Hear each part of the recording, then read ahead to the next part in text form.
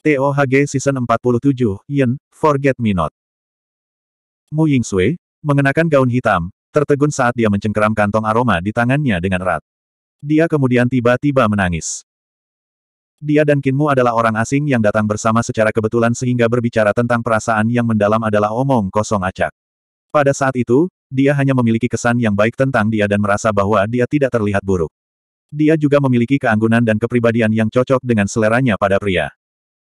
Bagi seorang guru racun, sangat sulit untuk menemukan seorang pria yang memiliki kedekatan dengannya.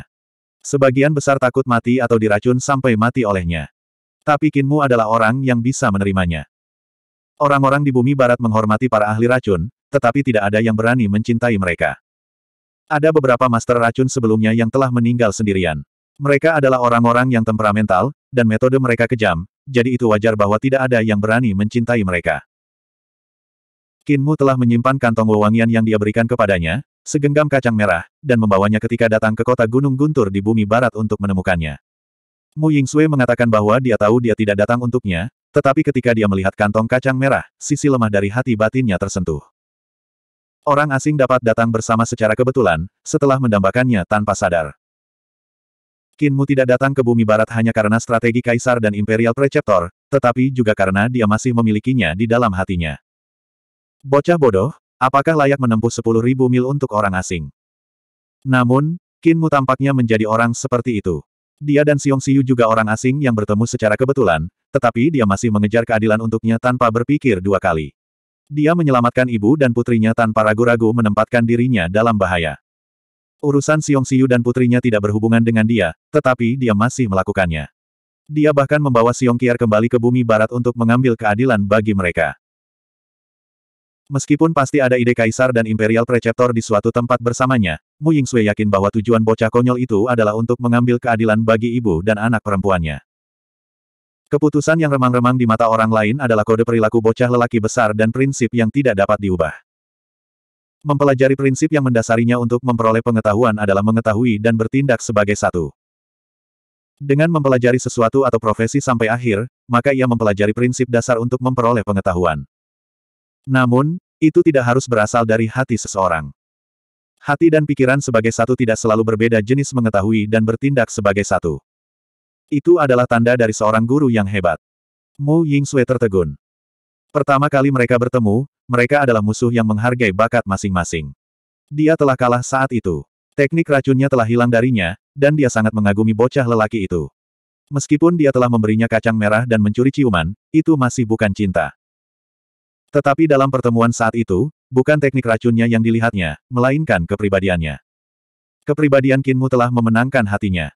Masalah keluarga Siong telah disebabkan olehnya. Itu adalah racunnya yang telah menumbangkan banyak ahli dari True Heaven Palace dan merusak semua kultivasi mereka.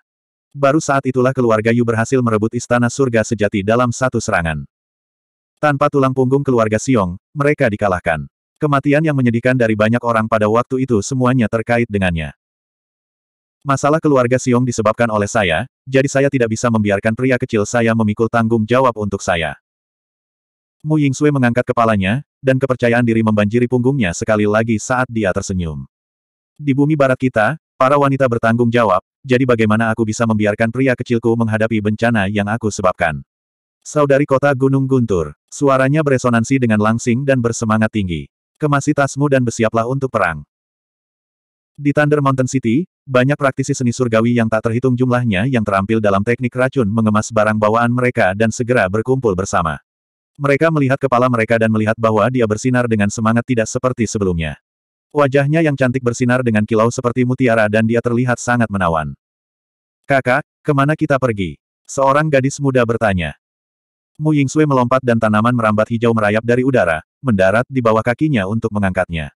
Suaranya dipenuhi pesona dan tawa ketika dia berbicara selanjutnya. Tentu saja kita akan mengejar kakak iparmu dan memasukkan kantong kerinduan kacang merah ini kembali ke tangannya.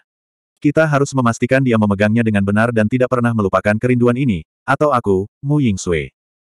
Baik, gadis-gadis lain tertawa terbahak-bahak. Ayo cepat pergi. Kakak ipar yang begitu baik, kita tidak bisa membiarkan orang brengsek merebutnya.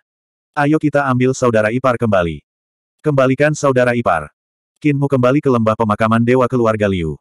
Peti mati gelap gulita bergabung dengannya, kaki yang tumbuh berlari setelahnya. Di langit, ada lebih banyak peti mati hitam, membentuk awan gelap. Di antara mereka, ada rantai memegang peti mati emas yang benar-benar besar dan sangat menarik. Banyak peti mati hitam mengantarnya di langit, dan Qin Mu sangat bingung mengapa Liu Ruyin bersikeras membawa benda berbahaya seperti itu. Namun, ketika dia mendengar itu adalah ide putrinya, dia tidak mempertanyakannya lagi. Gadis kecil itu, Liu Zhenxing, adalah orang yang pintar dan licik. Karena dia ingin membawa peti mati emas, pasti ada gunanya. Saat Qin Mu membawa pasukan keluarga Liu ke lembah sungai Sword, bersiap untuk bergabung dengan He Yi dan yang lainnya, dia tiba-tiba mendengar suara keras dan jelas datang dari belakangnya. Pria kecil, tunggu aku. Qin Mu menoleh ke belakang dan tidak bisa tertegun. Praktisi seni surgawi dari Thunder Mountain City duduk di semua jenis binatang berbisa dan serangga berbisa yang bergegas sambil sibuk dengan aktivitas. Ada laba-laba, kelabang, kodok, ular, burung berbisa, binatang buas, tawon, dan mereka ada di langit. Ada juga banyak tanaman beracun yang telah dibangunkan oleh para praktisi seni surgawi dan pria pohon yang sangat beracun sedang menyerang ke depan. Ada juga tanaman merambat ramping dengan gadis bunga dari bunga beracun mengepak kelopak mereka. Bahkan ada beberapa ikan berbisa yang telah tumbuh kaki untuk berlari cepat di darat. Yang memimpin adalah Mu Yingsui yang tampak bersemangat saat dia bergegas ke arahnya melalui jalan yang dibuka oleh pasukan peti mati. Tanpa penjelasan, dia melompat ke kepala naga kilin dan memasukkan kantong aroma ke tangannya sebelum memeluknya untuk menanam ciuman berat di pipinya. Qin Mu bingung sementara gadis itu sangat bangga pada dirinya sendiri ketika dia berkata dengan keras, Aku ingin kau menyimpan kantong kerinduan ini bersamamu selamanya dan tidak pernah membuangnya, tidak pernah melupakanku sepanjang hidupmu. Bisakah kau melakukannya? Dengan kepahlawanan mengisi dadanya, Kinmu dengan keras menyatakan, bisa. Mu Yingsui menoleh ke belakang dan melambai pada saudara perempuan dari Thunder Mountain City. Dia bilang bisa, kakak, bibi, ayo turun istana surga sejati dan ubah dunia. Sorakan meletus dari belakang mereka. Di samping kilin naga, sebuah peti mati hitam kecil terbalik dan Liu Zhenxing menjulurkan kepalanya. Tangannya disilangkan di depan dadanya, dan dia cemberut sedih. Kecil, gerutunya ketika dia melirik Mu Yingsui. Peti mati Liu Ruyin terbang ke sisinya dan kepala keluarga Liu ini berbisik, jangan pedulikan wanita nakal ini yang sangat bangga sekarang. Ketika dia meninggal, mari kita jadikan dia Liu. Em. Spanduk berkibar di lembah sungai pedang, dan Kinmu tercengang oleh sejumlah keluarga berpengaruh di bumi barat yang telah berkumpul dan mendirikan kemah mereka. Ini seharusnya menjadi pertama kalinya bahwa bumi barat menjadi begitu ramai.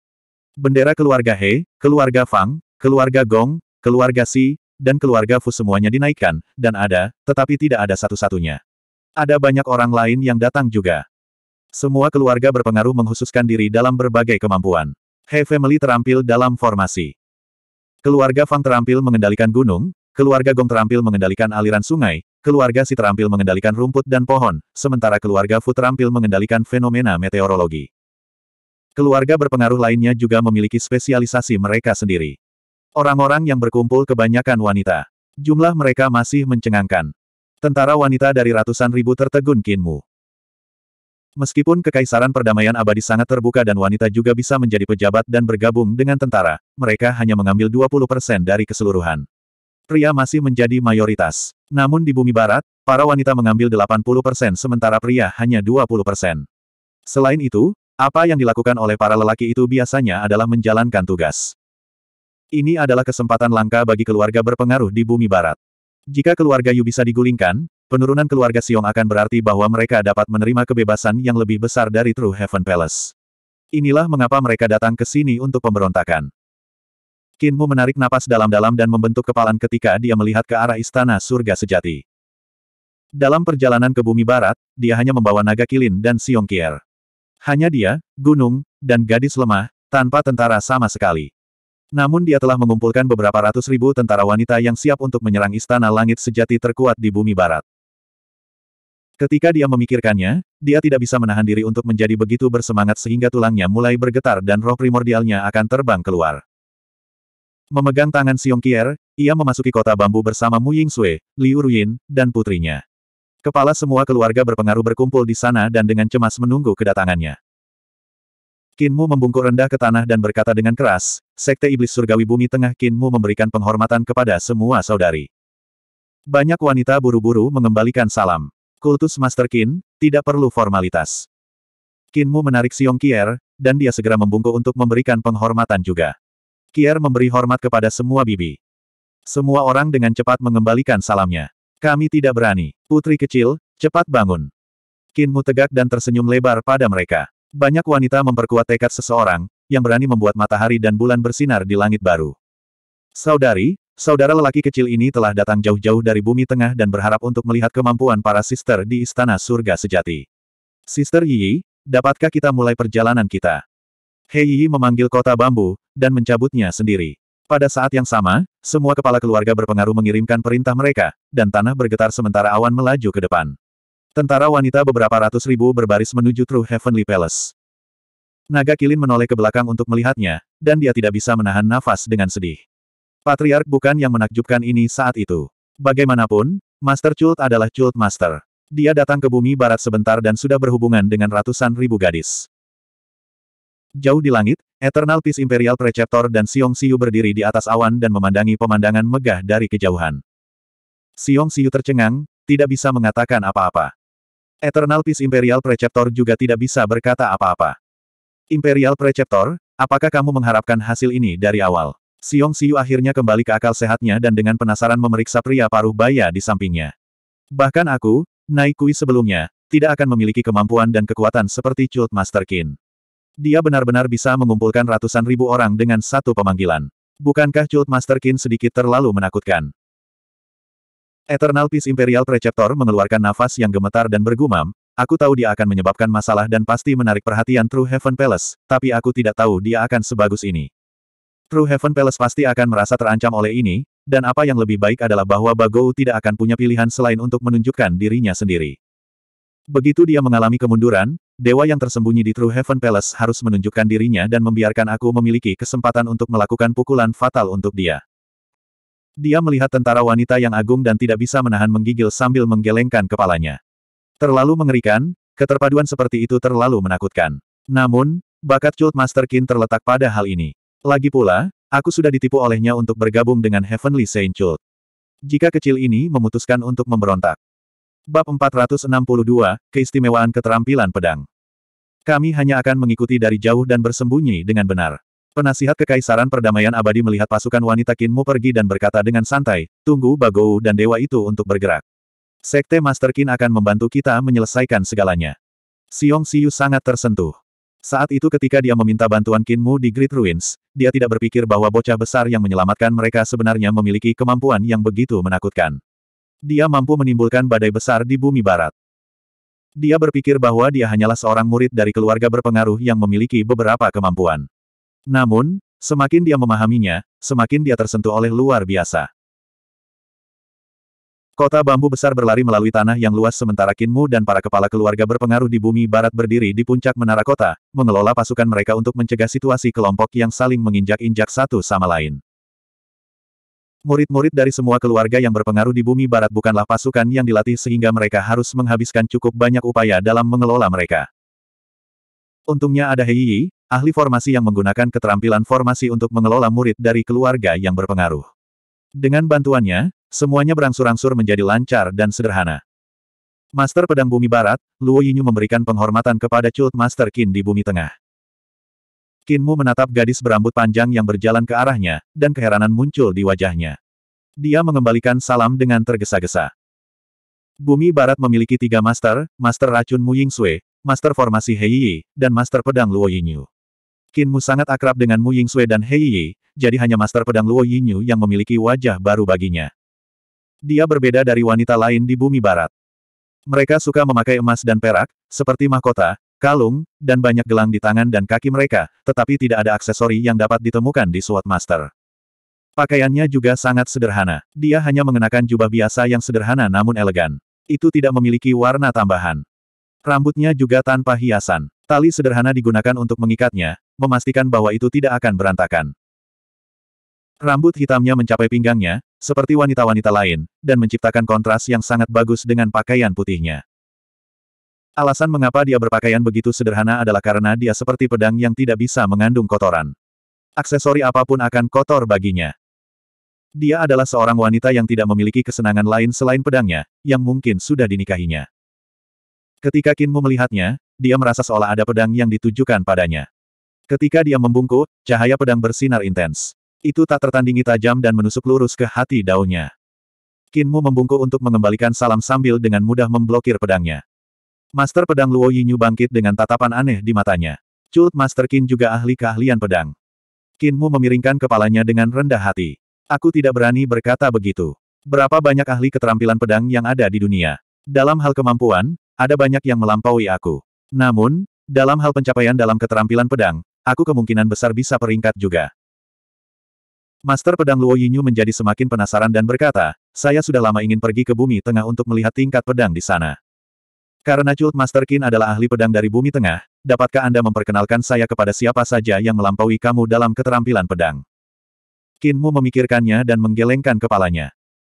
Seharusnya tidak ada lagi orang yang melampaui aku dalam keterampilan pedang, tetapi ada beberapa yang telah memasuki ranah pedang dan aku tidak berani mengatakan berapa banyak dari mereka yang ada.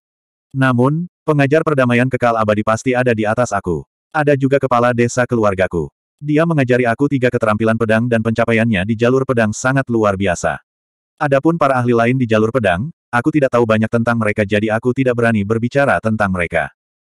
Jalur pedang keterampilan pedang. Wajah Luo Yinyu jatuh dalam kekecewaan saat dia bergumam, apakah benar ada seseorang yang memasuki jalur pedang? Aku berkonsentrasi pada mengejar akhir keterampilan pedang selama bertahun-tahun namun aku belum pernah mencapai jalur pedang. Sebenarnya ada orang yang mampu untuk memasuki dunia luar biasa seperti itu. Kinmu bisa mengerti kekecewaannya. Luo Yinyu berada pada tahap mengejar pengetahuan sampai akhir, mencari pemahaman ekstrim dari keterampilan pedang. Dia kemungkinan besar sudah mencapai yang ekstrim di dalamnya, tetapi dia tidak tahu tentang jalan pedang, yang membuatnya tidak dapat memasukinya. Kinmu mengatakan kepadanya bahwa ada banyak ahli di jalur pedang di bumi tengah adalah kemunduran besar baginya. Keterampilan pedang dan jalur pedang mungkin hanya berbeda dengan satu kata, tetapi perbedaan antara mereka adalah surga dan bumi. Tidak peduli seberapa bagus skill pedang seseorang, mereka tidak akan berarti di depan para ahli jalur pedang.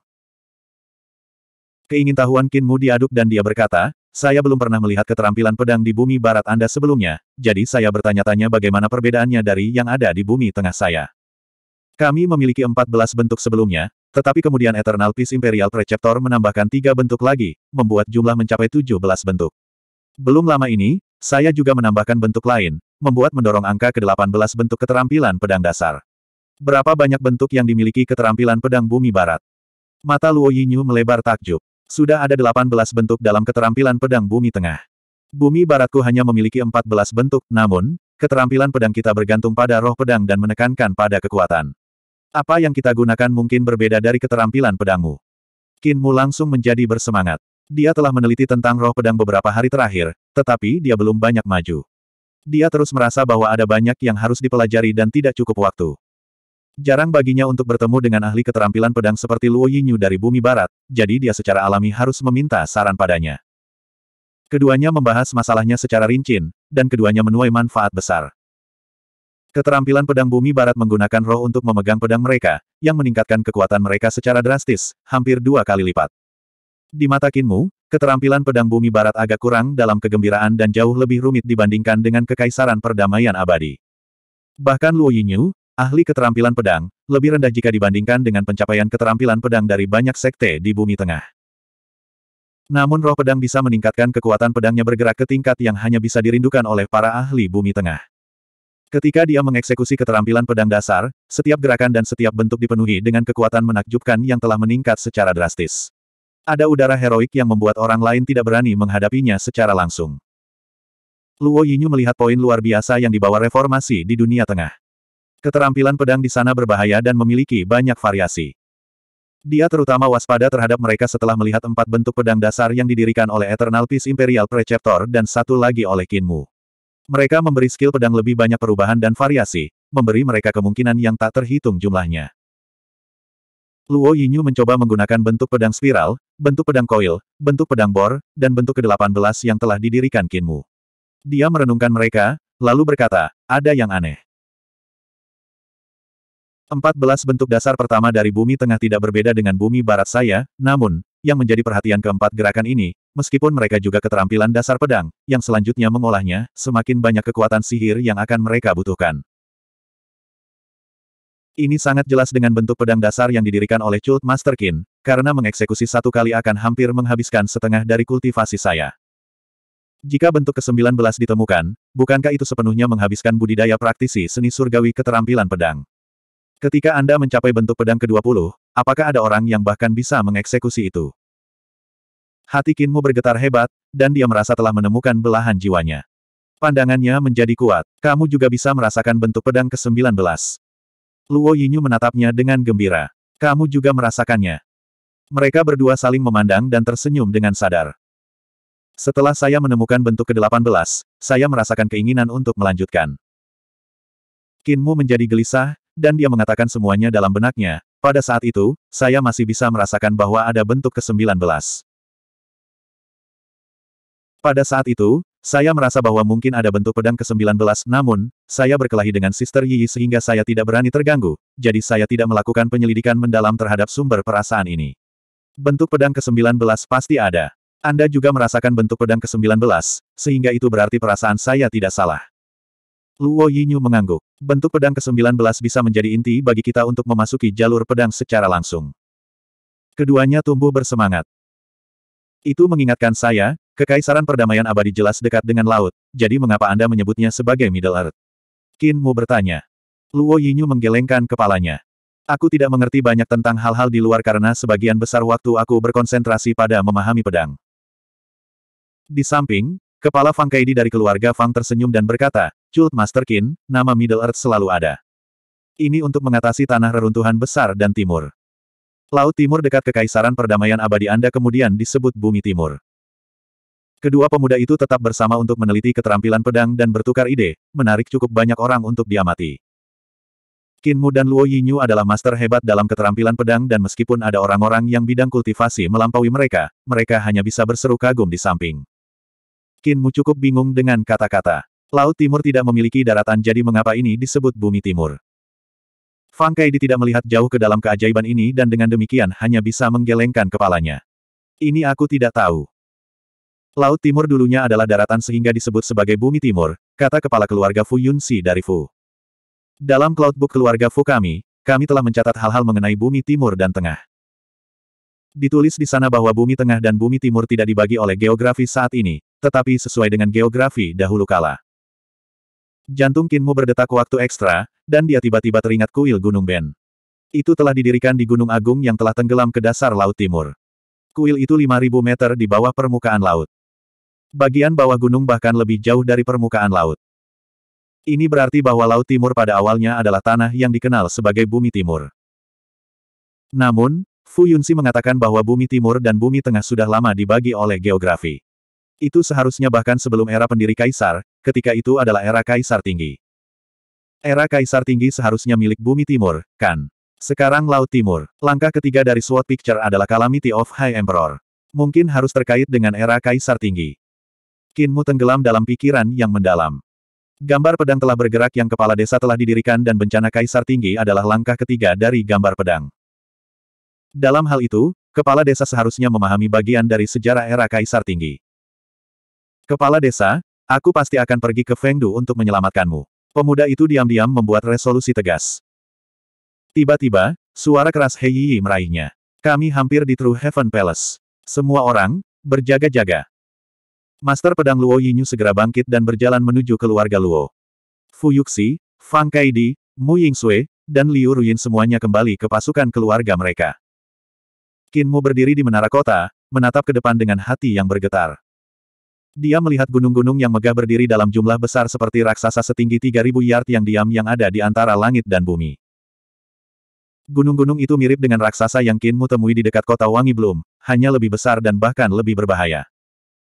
Di samping mereka ada juga puncak pedang yang merupakan puncak gunung seperti pedang. Ada juga puncak lonceng yang menyerupai lonceng. Puncak kuali yang berbentuk seperti kuali. Puncak pagoda yang berbentuk seperti pagoda. Membangun puncak yang seperti bangunan bertingkat. Semua puncak gunung itu adalah senjata roh dari segala jenis dan bentuk. Selain mereka, ada sungai panjang di bawah gunung yang melonjak dengan kecepatan tinggi melalui sembilan tikungan dan delapan belas kurva. Ada juga air terjun pelangi yang mengalir turun sepuluh ribu yard. Lautan awan bisa samar-samar terlihat di langit, tempat guntur dan kilat menyatu. Di lautan awan, sekelompok istana tampak bermandikan cahaya kemasan. Mereka adalah True Heaven Palace di bumi barat. Tanah suci bumi barat jauh lebih sulit untuk dihadapi daripada yang dibayangkan Kinmu. Bab 463, Keterampilan Pedang dan Luka Pedang. Kinmu mengangkat kepalanya untuk melihat istana di langit dari mana banyak wanita terbang keluar. Mereka mendarat di puncak gunung. True Heaven Palace seharusnya sudah lama menerima berita bahwa Kinmu telah mengumpulkan beberapa keluarga besar yang berpengaruh dan bersiap-siap untuk pendekatan mereka. Bang! Sebuah puncak gunung yang besar tiba-tiba meledak dan batu-batu yang tak terhitung jumlahnya terbang ke segala arah sementara yang lain berguling ke bawah. Puncak gunung tiba-tiba berubah menjadi raksasa yang agung. Itu berjongkok dan menarik kakinya yang besar dari tanah, mengocoknya tanpa henti. Hei Yi mengangkat tangannya, dan kota bambu yang besar berhenti. Raksasa gunung di depan mereka secara bertahap berdiri. Telapak tangannya yang besar berukuran seratus bidang, dan saat melesat melintasi langit, angin kencang melolong. Telapak tangan itu tiba-tiba meraih puncak gunung berbentuk pedang. Suara menusuk terdengar ketika puncak gunung berbentuk pedang benar-benar ditarik keluar dari tanah oleh raksasa gunung. Batu-batu berguling dan jatuh ke arah ketika dia melakukan itu. Pada saat raksasa gunung itu mengangkat pedang, bumi dan bebatuan di atasnya sudah benar-benar jatuh, memperlihatkan benda berkarat di dalamnya. Itu adalah pedang puncak gunung besar.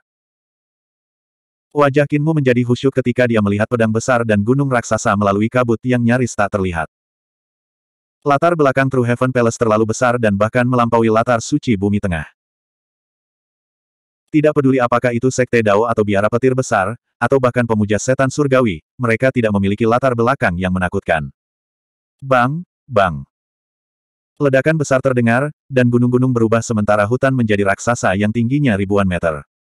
Mereka mengambil senjata dengan ukuran yang tidak terbayangkan. Mereka adalah penjaga istana surga sejati. Banyak murid dari True Heaven Palace berdiri di bahu atau kepala raksasa gunung, bangkit dan turun dengan gerakan makhluk mereka sambil dipenuhi dengan niat membunuh. Mu melihat Mu Yingsui. Jika dia tidak meracuni keluarga Xiong, keluarga Yu akan merasa sangat sulit untuk merebut istana surga sejati dan merebut otoritas keluarga Xiong. Hanya raksasa gunung saja yang merupakan kekuatan yang sangat menakutkan yang melampaui pasukan sejuta orang. Masuk ke formasi. Hei berteriak keras, dan para wanita dari He Family di kota berjalan keluar. Masing-masing dari mereka mengeluarkan bendera formasi yang bergoyang tertiup angin. Seketika, banyak senjata roh untuk keterampilan formasi jatuh dari bendera formasi. Para wanita dari He Family dengan cepat mengumpulkan mereka, dan Qin Mu melihat pemandangan yang sangat mengejutkan. Praktisi seni surgawi dari He Family sebenarnya menggunakan senjata roh untuk keterampilan pembentukan untuk mengumpulkan ketapel yang tingginya 300 meter. Mereka didirikan tegak di belakang kota bambu, dan derek berputar untuk mengencangkan. Para praktisi kesenian surgawi dari keluarga Fang melaksanakan seni surgawi mereka, dan batu-batu berguling tanpa henti dari raksasa gunung di belakang mereka. Mereka bergabung menjadi gumpalan batu besar yang secara otomatis bergulir ke bingkai besar ketapel. Praktisi seni surgawi wanita yang tak terhitung jumlahnya dari keluarga Si menyebarkan benih yang tumbuh dengan panik di seluruh gunung, membentuk lautan hijau. Itu melonjak terus-menerus ketika raksasa pohon bangkit dan melangkah maju. Master pedang Luo Yinyu mengangkat pedangnya, dan suara deru terdengar di udara ketika puluhan ribu wanita dari keluarga Luo menarik pedang mereka juga. Mereka semua dipenuhi dengan kepahlawanan. Adik keluarga Fu, Mu Yingsue tiba-tiba berteriak. Fu Yunxi memberi perintah, dan praktisi seni surgawi dari keluarga Fu memanggil awan gelap. Mereka membentuk lautan awan, yang meliputi area seluas seribu mil. Saat kilat melintas dan guntur meledak, tornado yang sangat tebal terbentuk. Namun, mereka memutar tubuh mereka tetapi tidak maju karena mereka dikendalikan oleh praktisi seni surgawi dari keluarga Fu. Mu Yingsui maju bersama para praktisi seni surgawi dari keluarga Mu dan melemparkan semua racun yang sangat beracun ke angin. Tornado mengisapnya ke awan gelap dan berubah warna, menjadi hijau yang menyihir. Bahkan kilat yang berkedip memiliki sentuhan hijau pada cahayanya. Seluruh lapisan awan dipenuhi dengan racun Mu Family yang paling mematikan. Angin kencang melonjak dari belakang seorang pemuda di menara kota, mengepakkan pakaiannya. Angin dingin, membawa panas berlebih dari tubuhnya. Darahnya terlalu panas. Para praktisi perempuan seni surgawi menciptakan suasana yang sama sekali berbeda di medan perang dibandingkan dengan orang-orang perdamaian abadi, tetapi itu membuat darahnya mendidih sama saja. Wanita cocok untuk pria. Meskipun mereka cantik, mereka juga pejuang yang kuat di medan perang. Suasananya suram dan sunyi. Bagian depan True Heaven Palace dipenuhi dengan udara yang keras. Awan hitam yang ingin menghancurkan kota tetap terkendali, dengan hanya suara angin yang terdengar. Tekanan semacam itu bisa membuat orang menjadi gila. Pada saat itu, sesosok terbang keluar dari istana di lautan awan dan melewati raksasa gunung yang mengabaikannya. Bagou. Wajah Hei Yi, Mu Yingsue, Fu Yunyi dan yang lainnya sedikit berubah. Mereka tidak menunjukkan kepengecutan saat menghadapi raksasa gunung True Heaven Palace, tetapi ketika mereka melihat sosok yang terbang ke arah mereka, ekspresi mereka berubah. Hei Yi berteriak lembut, dan kota bambu terbelah. Batu-batu yang tak terhitung jumlahnya melayang ke udara dan dengan cepat membentuk formasi defensif untuk melindungi para murid He Family di belakangnya. Dia sendiri diangkat oleh satu batu untuk mengapung sebelum formasinya. Tiba-tiba, ada satu orang lagi di sampingnya, itu adalah Kinmu. Kehangatan membanjiri hati Hei Yi. Prajurit surgawi roh pedang. Luo Yinyu berteriak, dan puluhan ribu praktisi seni perempuan surgawi dari keluarga Luo mengangkat senjata mereka dengan ki. Pedang terbang yang tak terhitung jumlahnya berdenting dan melayang ke langit, berubah menjadi formasi pedang besar. Meskipun bilahnya banyak jumlahnya dan sepertinya terbang ke sana-sini, mereka tidak berantakan sama sekali. Delapan pilar surga. Fang Kaidi berteriak, dan raksasa gunung di belakangnya tiba-tiba membentuk pilar melingkar besar yang mampu menopang langit dan bumi. Delapan raksasa gunung maju ke depan dan menarik pilar-pilar itu untuk memikul pundak mereka sembari dipenuhi dengan niat membunuh. Keluarga lain juga mengeksekusi gerakan mereka sambil menyaksikan sosok itu semakin dekat dengan gugup. Bahkan Liu Ruyin dan Liu Zhenxing penuh dengan kekhawatiran. Mereka datang ke depan peti mati Dewa Emas, siap untuk melepaskan mayat di dalamnya kapan saja. Hati Kinmu bergetar. Hanya Bagou saja yang mendorong semua keluarga berpengaruh di bumi barat ke tepi mengambil semua kartu truf mereka. Saat melihatnya, dia tidak bisa tidak mengakui bahwa Bagou memang menakjubkan. Bagaimana bisa pria dengan nama keluarga Yu dari surga tinggi ini membuat semua keluarga di bumi barat khawatir, seolah-olah mereka akan menghadapi musuh besar. Kinmu tidak bisa membantu menjadi bingung. Tidak ada banyak sekte di bumi barat seperti di perdamaian abadi, dan mereka terutama diperintah oleh keluarga yang berpengaruh. Kemampuan sepuluh di atas bukan masalah kecil, dan mereka semua luar biasa dalam beberapa hal. Belum lagi jika tamu dari surga tinggi, bahkan jika dewa turun, keluarga tidak harus berhati-hati. Bagou jelas bukan hanya sekadar tamu dari surga tinggi. Namun ketika angka itu cukup dekat, Kinmu menyadari bahwa Bagou tidak tampak jahat seperti yang dia bayangkan. Sebaliknya, dia adalah pria dengan penampilan yang tidak biasa. Tubuhnya tinggi dan kokoh sementara wajahnya sangat tampan. Pakaian yang dia kenakan terbuat dari bahan yang tidak dikenal yang dibungkus. Setiap helai tampaknya telah ditenun oleh rune, dan dari waktu ke waktu, cahaya yang tak terlihat akan muncul dari untayan. Pakaiannya sangat pas dan menunjukkan bahwa ia tidak memiliki daging berlebih. Pakaiannya adalah milik seorang pria dari bumi barat, dengan kain putih melilit kepalanya dan rantai emas saling silang di atasnya. Namun, tidak seperti pria lain, ia memiliki beberapa aksesoris lainnya. Jembatan hidungnya tinggi, tetapi pandangannya lembut, memberikan perasaan menyenangkan kepada orang-orang yang melihatnya untuk pertama kalinya. Ketika Kinmu menatapnya, dia merasa bahwa pria itu terlihat sangat mirip dengan Jade Sovereign of High Heavens. Kinmu pernah melihat mayat pria yang dikatakan pria yang sempurna. Meskipun dia telah dibunuh oleh Kaisar Yan Feng, penampilannya tetap luar biasa. Temperamennya tampaknya mirip dengan Su Senghua. Kinmu memeriksanya dan cukup terkejut. Dia benar-benar merasa bahwa sikap Bagou juga agak mirip dengan Eternal Peace Imperial Preceptor. Sikap Su Hua adalah segalanya di dunia yang tidak ada hubungannya dengan dia. Dia telah memasuki dunia fana dari atas dan urusan duniawi tidak bisa mencemari dirinya. Ini juga terkait dengan teknik yang dia kembangkan. Meskipun Kinmu telah menarik Su Hua ke dunia fana, urusan duniawi masih menemukan kesulitan untuk mengubah pemuda yang luar biasa itu. Dia masih terlihat seperti dia bisa meninggalkan mereka kapan saja dan pergi. Sebaliknya, penasihat kekaisaran perdamaian abadi terlihat dingin dan serius dalam berbicara dan bersikap. Itu adalah semacam sikap tak terkalahkan dalam memandang semua gunung kecil di bawah setelah naik ke gunung tertinggi. Dia adalah seorang guru hebat yang memiliki prestasi luar biasa dan yang hanya memiliki perubahan dan reformasi dalam hatinya. Semua cara lain di dunia telah dibuang dan segala rintangan terhadap reformasinya hanya merupakan batu sandungan. Dia akan mengeksekusi metode secepat kilat untuk menyingkirkan masing-masing dari mereka.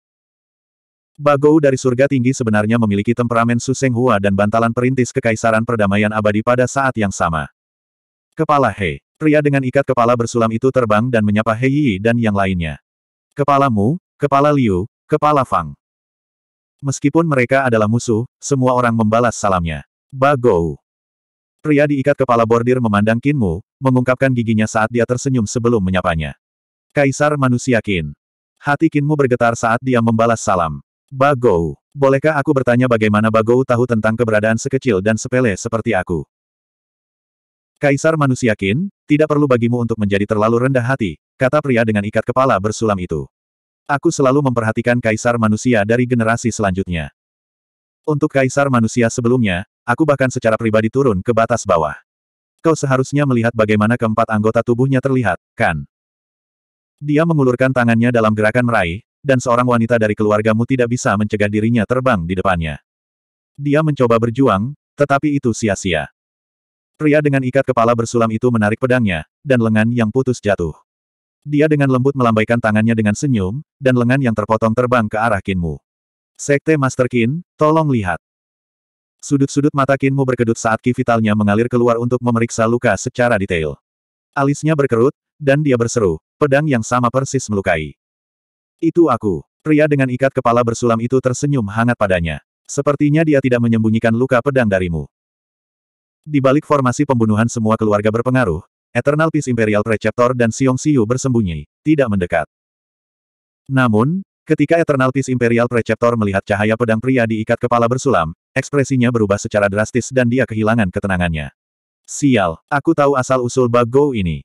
Cepat, semua keluarga berpengaruh di bumi barat harus mundur. Xiong Xiu menggelengkan kepalanya. Panah sudah ditali busur, dan tidak ada pilihan selain melepaskannya. Kita tidak bisa mundur sekarang bahkan jika kita mau. Mengapa Imperial Preceptor tiba-tiba kehilangan ketenangannya? Eternal Peace Imperial Preceptor mengambil napas panjang saat matanya melotot. Aku mengenali skill pedang ini, jalur pedang ini. Ini adalah skill pedang yang memotong empat anggota tubuh Old Human Emperor. Pria itu bukan dari keluarga Yu Surga Tinggi, tetapi dewa sejati dari batas atas. Di depan formasi, Kinmu tiba-tiba santai dan tersenyum tanpa tanda-tanda menyembunyikan segala jenis kegugupan. Tubuhmu yang sebenarnya tidak bisa turun ke batas bawah, kan? Jika itu bisa, apakah kau masih bersembunyi seperti lalat di bumi barat? Lalu karena itu bukan tubuhmu yang sebenarnya, dia mengulurkan tangannya ke depan, dan ekspresinya menjadi buas. Memukulmu sampai mati tidak akan menjadi masalah. Bab 464, Medan Perang Asura Pria diikat kepala bersulam menyebarkan kekuatan sihirnya, dan mayat praktisi seni perempuan dewa keluargamu jatuh dari langit. Anak kecil, sudah memiliki fantasi tidak realistis yang sama dengan kaisar manusia sebelumnya. Meskipun pedangnya hanya memotong lengan praktisi seni perempuan surgawi dari keluargamu, pedangnya akan melewati seluruh tubuhnya, melarutkan dan memusnahkan roh primordialnya. Dengan pencapaiannya di jalur pedang, dia bahkan tidak perlu melukai lawan secara langsung. Hanya pedangnya saja sudah cukup untuk menghancurkan semangat primordial lawan. Mu Yingsui membentuk tangannya menjadi kepalan tapi memaksa dirinya untuk menahan amarahnya. Dia tidak meledak. Yang satu mati adalah klannya, tetapi melawan Bagou yang misterius, dia tidak berani melakukan gerakan gegabah. Pria dengan ikat kepala bersulam memandang semua kepala sementara di belakangnya adalah pegunungan agung dan istana surga sejati yang memiliki udara yang luar biasa. Dia berkata dengan santai, Kepala Bumi Barat, kalian memilih untuk memberontak untuk otoritas True Heaven Palace, tetapi kamu tidak tahu bahwa otoritasnya datang kepadaku. Aku akan memberikan kalian jalan keluar, jika kamu kembali sekarang dan memotong kepala manusia Kaisar Qin ini pergi untukku sebelum mengirimnya ke True Heaven Palace, aku akan membiarkan dulu berlalu. Qinmu menggigil ketika dia melihat bahwa sejumlah kepala suku terombang-ambing. Pasukan bumi barat yang dia menepi bukanlah sepotong papan besi, tetapi dirangkai oleh manfaat. Meskipun sebagian besar pemimpin wanita cantik seperti Bunga dan Kinmu bahkan memiliki beberapa hubungan yang mendalam dengan mereka, mereka masih mirip dengan sekte dan kultus master perdamaian abadi. Para wanita cantik menempatkan keuntungan dari klan mereka di atas segalanya. Emosi pribadi tidak akan membelokkan pikiran logis para wanita itu. Jika mereka mundur karena kata-kata pria itu, Kinmu tidak akan terlalu terkejut. Tiba-tiba, Mu Yingsui mengguncang lonceng di pergelangan tangannya yang berdering dalam keheningan dengan suara renyah dan tersenyum. Kalian semua bisa mundur, tapi keluarga Muku tidak bisa. Apa yang menjadi milik keluargaku kepada Siong Family harus dikembalikan, kalau tidak, hati nuraniku tidak akan pernah nyaman. Hei memandang yang lain dengan acuh tak acuh. Yu Bochuan meninggal di bambu sitiku yang akan menyulitkanku untuk lolos dari celaan, jadi mengapa aku tidak menggulingkan aturan keluarga Yu saja? Keluargaku tidak mundur juga. Liu Ruin ragu-ragu sejenak, lalu memandang Liu Zhenxing yang ada di peti mati kecil di sampingnya dan menjilatinya dengan serius.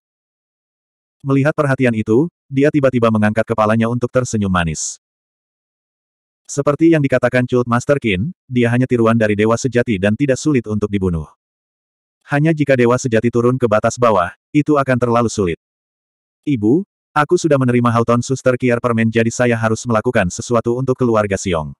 Selain itu, senyumnya semakin manis. Siapa yang bisa memastikan bahwa keluarga Yu tidak akan menemukan masalah dengan kita setelah ini? Mereka sangat kecil, tetapi jika kita menyingkirkan mereka, ibu dan anak keluarga Siong akan memerintah True Heaven Palace dan bahkan mengandalkan keluarga Liu kita. Keuntungan lebih besar dari risikonya, jadi mengapa tidak? Kinmu menjadi nyaman. Meskipun Liu Zhenxing terlihat seperti gadis kecil, dia sebenarnya adalah rubah tua. Kata-katanya terdengar tidak berbahaya, tetapi dia telah menyebutkan apa yang ada dalam pikiran semua orang. Dengan hukumannya, keluarga berpengaruh lainnya memastikan keputusan mereka, dan Bagou tidak akan bisa mengubah pikiran mereka lagi.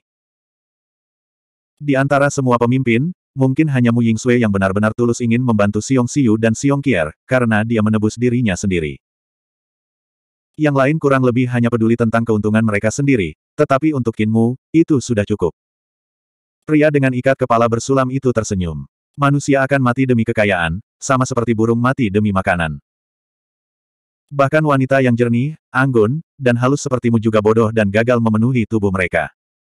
Baik, karena kalian ingin mati, aku hanya bisa mengirim kalian semua dalam perjalanan. Dia hendak berbalik dan pergi, tetapi Heiyi tiba-tiba tersenyum dan berkata, karena Bagou sudah ada di sini, kamu tidak perlu pergi. Batu-batu besar yang tak terhitung jumlahnya dari belakangnya melonjak ke depan, menuju pria itu. Pada saat yang sama, hampir semua pemimpin juga mengeksekusi kemampuan mereka sendiri. Raksasa gunung di belakang Fang Kaidi mengangkat pilar gunung besar, menggunakan puncak gunung sebagai senjata untuk menabrak pria dengan ikat kepala bersulam. Luo Yinyu menarik pedangnya untuk menusuk, dan pedang terbang yang tak terhitung jumlahnya mengikuti dengan cermat setelah bilah tajamnya yang menempel dekat puncak gunung yang akan menyerang pria itu. Mu Yingsui menjentikkan jarinya, dan Fu Yunxi menekan berat. Petir meledak, dan badai menyapu racun yang telah dilontarkan Mu Yingsui ke arah pria itu. Liu Ruyin dan Liu Zhenxing membuka rantai di peti mati emas, dan mereka bangkit seperti naga banjir hitam menuju pria itu. Kepala keluarga berpengaruh di bumi barat tidak memedulikan aturan dunia persilatan. Mereka berkerumun ke depan tanpa peringatan apa pun, berharap mencegah Bagou kembali di belakang pasukannya, apa pun yang terjadi. Kinmu mengangguk tanpa suara. Sudah selesai dilakukan dengan baik. Pria dengan ikat kepala bersulam berjalan menuju True Heaven Palace ketika cahaya pedang melintas di belakangnya, memotong serangan semua orang. Sebelum formasi Heiyi bisa menutup, sebuah jalan diiris terbuka oleh pedangnya. Pilar gunung diiris oleh cahaya pedang yang sempurna, dan badai dicegat oleh pedang yang melintasi langit. Rantai tersentuh oleh ujung pedang dan dikirim kembali. Keterampilan pedang yang bagus. Berdasarkan keterampilan pedang, tidak ada seorang pun di bumi barat yang menjadi lawannya. Dia memang memiliki beberapa keterampilan pedang yang baik. Ekspresi Kinmu serius. Keterampilan pedang pria dengan ikat kepala bersulam telah mencapai kesempurnaan dan alam yang begitu misterius sehingga bahkan para dewa dan roh tidak dapat memprediksi gerakannya. Kier, cepat aktifkan manik naga hijau. Siong Kier mengeksekusi Green Dragon Bat, dan lampu hijau langsung bersinar terang. Naga mengaum terdengar, dan langit dipenuhi dengan lampu hijau yang bergegas menuju True Heaven Palace. Di mana pun itu berlalu, semuanya dihina, dan bahkan raksasa gunung di sekitar True Heaven Palace tiba-tiba menjadi kaku. Cahaya hijau terpancar dari tubuh mereka saat tanaman merambat hijau yang tak terhitung jumlahnya tumbuh dengan cepat di sekitar mereka. Para wanita di puncak gunung raksasa itu berada di bawah kendali manik naga hijau pada saat itu. Pop, pop, pop. Kecambah lembut dan bunga tumbuh dari wajah mereka. Green Dragon Bat, salah satu dari empat harta roh dari True Heaven Palace, telah meledak dengan kekuatan yang mencengangkan di tangan gadis kecil itu.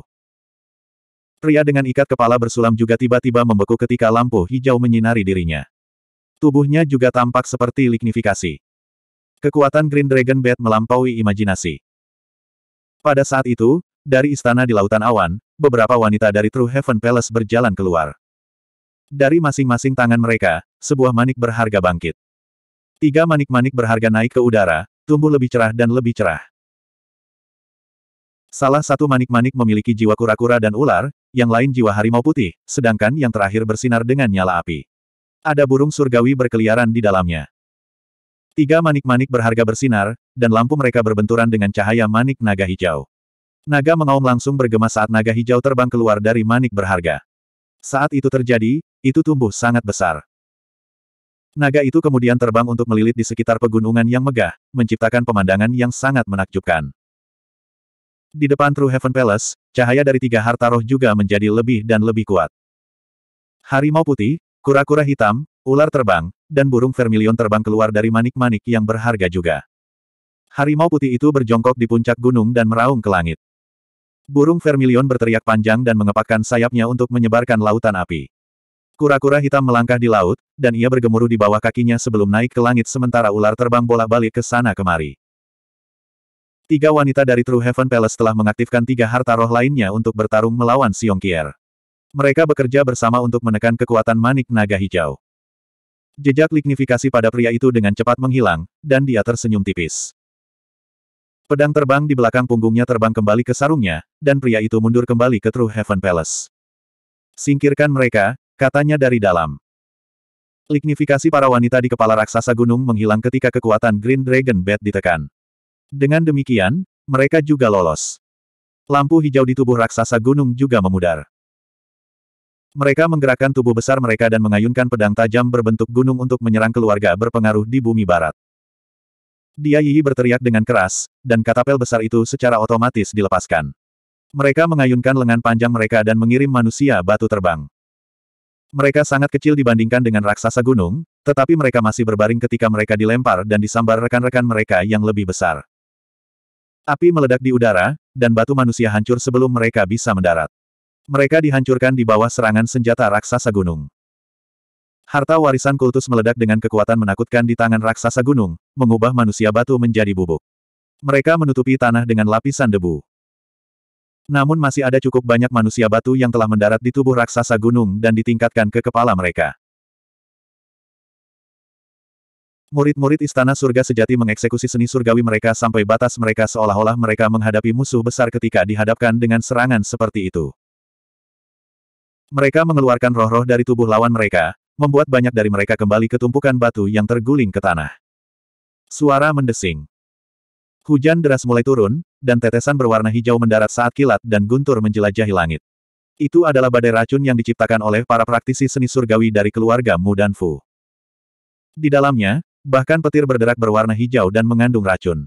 Petir bercampur dengan hujan dan menghantam puncak gunung dari setiap raksasa gunung. Lebih banyak wanita dari True Heaven Palace terbang keluar, dan senjata roh yang tak terhitung jumlahnya terbang maju.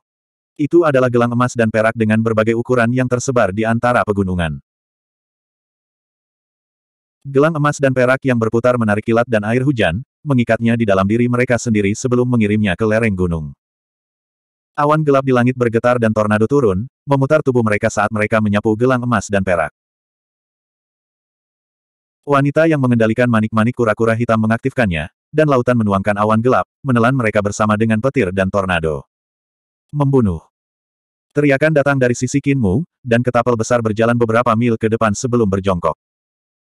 Banyak wanita melompat ke tubuh mereka yang besar dan terseret ke dalam pertarungan oleh mereka.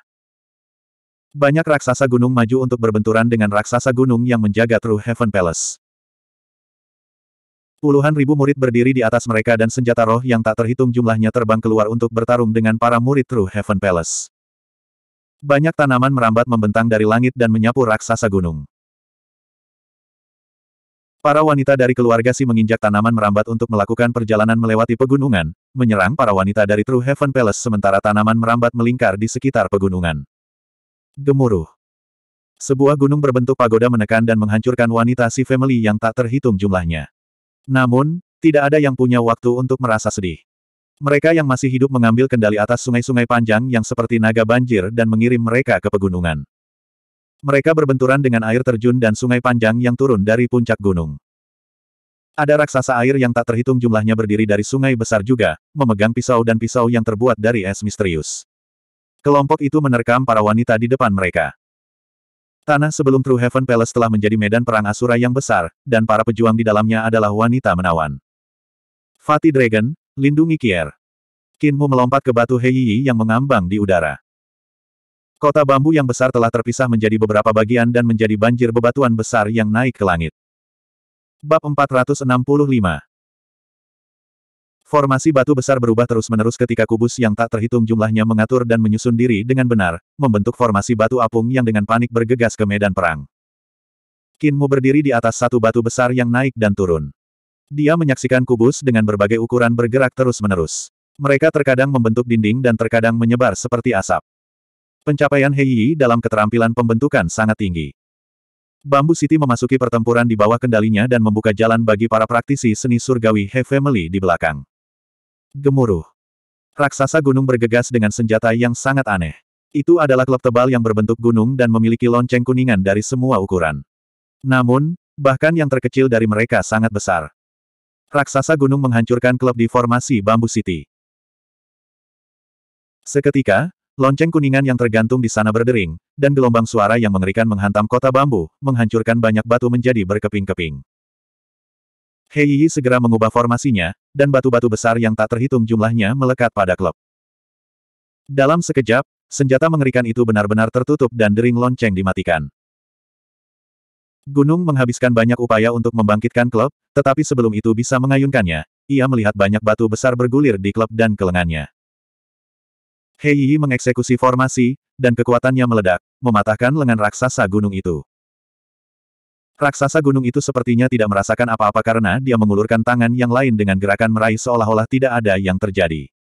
Saat memasuki formasi batu besar, ia mencoba menangkap Hei Yi, tetapi lengannya yang lain segera juga ditutupi oleh batu-batu besar. Telapak tangannya menjadi lebih padat dan lebih padat, lebih berat dan lebih berat. Keterampilan pembentukan He Family memang luar biasa. Kinmu memuji dan tiba-tiba melompat keluar dari formasi kota bambu. Dia mendarat di lengan raksasa gunung dan melompat-lompat seolah-olah dia terbang, bergegas menuju kepalanya. Di puncak gunung, ada medan perang lain, di mana banyak praktisi seni surgawi dari True Heaven Palace menyambut para praktisi seni surgawi dari keluarga Gong. Kedua belah pihak bertempur sengit di puncak gunung, tetapi terjebak dalam jalan buntu. Kinmu bergegas, dan bola cahaya perak meledak dengan lambaian tangannya. Itu adalah pelet pedangnya yang memiliki radius dua kaki. Itu naik ke langit dan berputar dengan cepat. Pedang yang tak terhitung jumlahnya muncul dari dalamnya. Mereka menjadi lampu pedang dan melewati kerumunan pertempuran. Semua tujuh belas bentuk pedang dilepaskan, dan mereka semua memiliki berjuta transformasi. Delapan ribu pedang dan tujuh belas jenis transformasi menenggelamkan setiap wanita di puncak gunung. Kinmu melompat turun dari gunung. Delapan ribu pedang di belakangnya seperti angin yang meniup awan, menempel erat padanya. Mereka berdenting saat mereka kembali ke pelet pedang di atas kepalanya. Di puncak gunung, para praktisi seni surgawi dari True Heaven Palace runtuh dan mati. Hanya praktisi perempuan seni surgawi dari keluarga Gong yang tersisa. Setengah jalan menuruni gunung, seekor naga rumput terbang keluar dan menangkap Kinmu. Kepala si Yuting dari keluarga si berdiri di atas kepalanya, dan di sampingnya, tanaman merambat hijau melonjak ke depan seperti naga banjir. Mereka tumbuh dengan panik, berbunga dan menghasilkan buah. Tanaman merambat hijau yang tak terhitung jumlahnya membawa para wanita praktisi seni surgawi dari keluarga si ke atas tubuh raksasa gunung sambil menanam akarnya di antara bebatuan gunung. Para praktisi mengeksekusi seni surgawi mereka untuk membuat rumput, pohon, dan tanaman merambat tumbuh di tubuh raksasa gunung dan memotong-motong mereka. Tiba-tiba, getaran mengerikan datang dari Vermilion Bird Bat, dan seekor burung Vermilion besar mengepakkan sayapnya. Lautan api yang menyala-nyala mengalir menuju si Yuting yang berada di antara gunung-gunung. Dia berdiri di atas kepala naga rumput saat dia mengucapkan mantranya. Lampu hijau menyelimutinya dan membentuk bola rumput besar untuk menghadapi lautan api. Detik berikutnya, itu dinyalakan oleh api yang berkobar. Pada saat lautan api melintas, hanya ada sedikit bola rumput yang tersisa selain bentuknya. Kemudian terbelah, dan si Yuting membawa Kinmu semakin tinggi ke langit dengan bantuan tanaman merambat hijau tempat dia berdiri.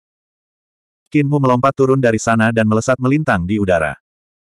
Dia mengulurkan tangannya untuk meraih apa yang ada di atasnya dan mengeluarkan Free Sword dari pelet pedang. Pedang tanpa beban bertambah besar, dan ribuan pedang masuk satu demi satu. Kecepatan jatuh Kinmu tumbuh lebih cepat dan lebih cepat, dan auranya tumbuh lebih kuat dan lebih kuat juga. Detik berikutnya, sebuah ledakan terdengar ketika tubuhnya menabrak puncak gunung. Raksasa gunung yang luar biasa besar yang menjadi sandungnya terhuyung dari benturan. Ketika Kinmu mendarat, dampak yang mengerikan mengangkat cincin tekanan yang menghempaskan sebagian besar murid perempuan dari True Heaven Palace. Hanya beberapa yang berada di Realm Seven Stars dan Celestial Being Realm hampir tidak bisa menjaga pijakan mereka. Tetapi suara setelah ledakan tidak hilang, ruang berdengung dan bergetar. Itu karena Carefree Sword mengiris lurus ke bawah melalui raksasa itu. Ledakan. Saat berikutnya, suara retak datang dari kepala raksasa gunung. Retakan besar menyebar di tengah-tengahnya. Meskipun Kinmu belum berhasil membelah kepala, kekuatan pedangnya bukan masalah kecil. Ketika Carefree Sword menebas lagi, pedang terbang yang tak terhitung jumlahnya berputar keluar dan mengiris ke depan. Dalam sekejap, 8.000 pedang terbang mengiris udara dari satu ujung puncak gunung ke ujung lainnya. Anggota tubuh yang terputus menghujani. Sebelum mereka bahkan bisa menyentuh tanah, Kinmu sudah bergegas maju. Lampu pedang menyala dan mengiris di antara dua praktisi kuat dari True Heaven Palace yang berasal dari alam surgawi. Kedua wanita itu tertangkap basah dan sudah menderita banyak luka. Ketika dia mendekat, mereka bertiga berkibar seperti kupu-kupu. Kedua wanita itu adalah ahli dari True Heaven Palace. Meskipun mereka tidak mahir dalam pertempuran jarak dekat dan telah terluka oleh Kinmu, mereka menang dalam kepadatan budidaya mereka, yang jauh melebihi dari Kinmu. Segera, mereka mendapatkan kembali keseimbangan mereka. Roh primordial kedua wanita itu terbang keluar. Ketika mereka akan naik di udara, siap untuk melompat ke Kinmu, naga rumput tiba-tiba datang dari bawah dan tumbuh di bawah kaki mereka, dengan cepat mengikat mereka. Sementara kepala si Yuting mendarat di kepala raksasa gunung, Kinmu melompat. Hati alis praktisi masing-masing memiliki tanda merah. Tubuh mereka telah ditusuk oleh Carefree Sword, dan otak mereka hancur. Si Yuting hanya selangkah lebih lambat dari Kinmu untuk turun, tapi dia sudah memusnahkan semua praktisi seni surgawi dari True Heaven Palace di puncak gunung. Hanya dua ahli alam surgawi yang tersisa. Dia tahu bahwa jika dua ahli melepaskan roh primordial mereka bahwa Kinmu pasti tidak cocok untuk mereka dan mungkin terbunuh sebagai gantinya, jadi dia memilih untuk pertama-tama mengikat tubuh jasmani mereka. Namun, dia tidak menyangka bahwa Kinmu akan mengakhiri pertempuran begitu cepat. Dia baru saja berhasil mendarat di puncak gunung ketika Kinmu sudah membunuh dua ahli alam surgawi. Si Yuting melihat ke atas dan melihatnya berlari cepat ke langit.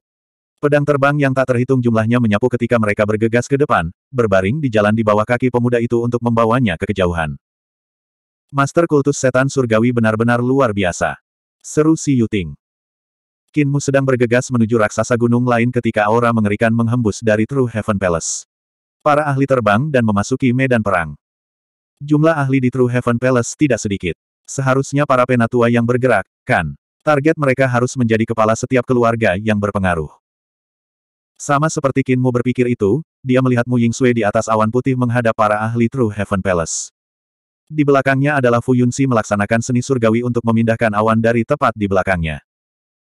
Kinmu menaruh pedangnya dan mengeksekusi Heaven Pilfering Divine Legs untuk berlari dengan panik. Dia menyusul Mu Yingsui dalam waktu yang singkat dan mendarat di sisinya di atas awan.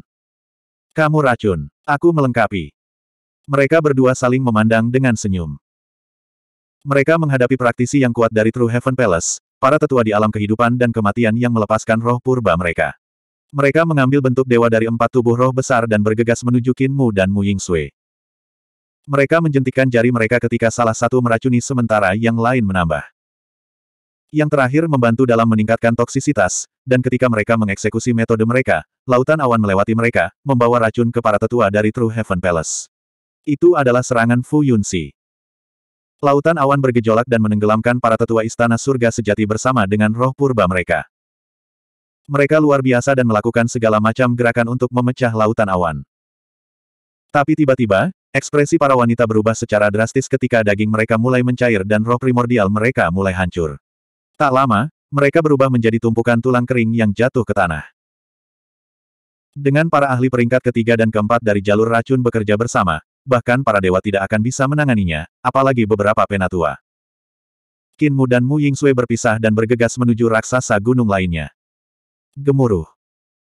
Raksasa gunung runtuh, dan tubuhnya yang besar jatuh ke tanah, menyebabkan getaran yang mengerikan.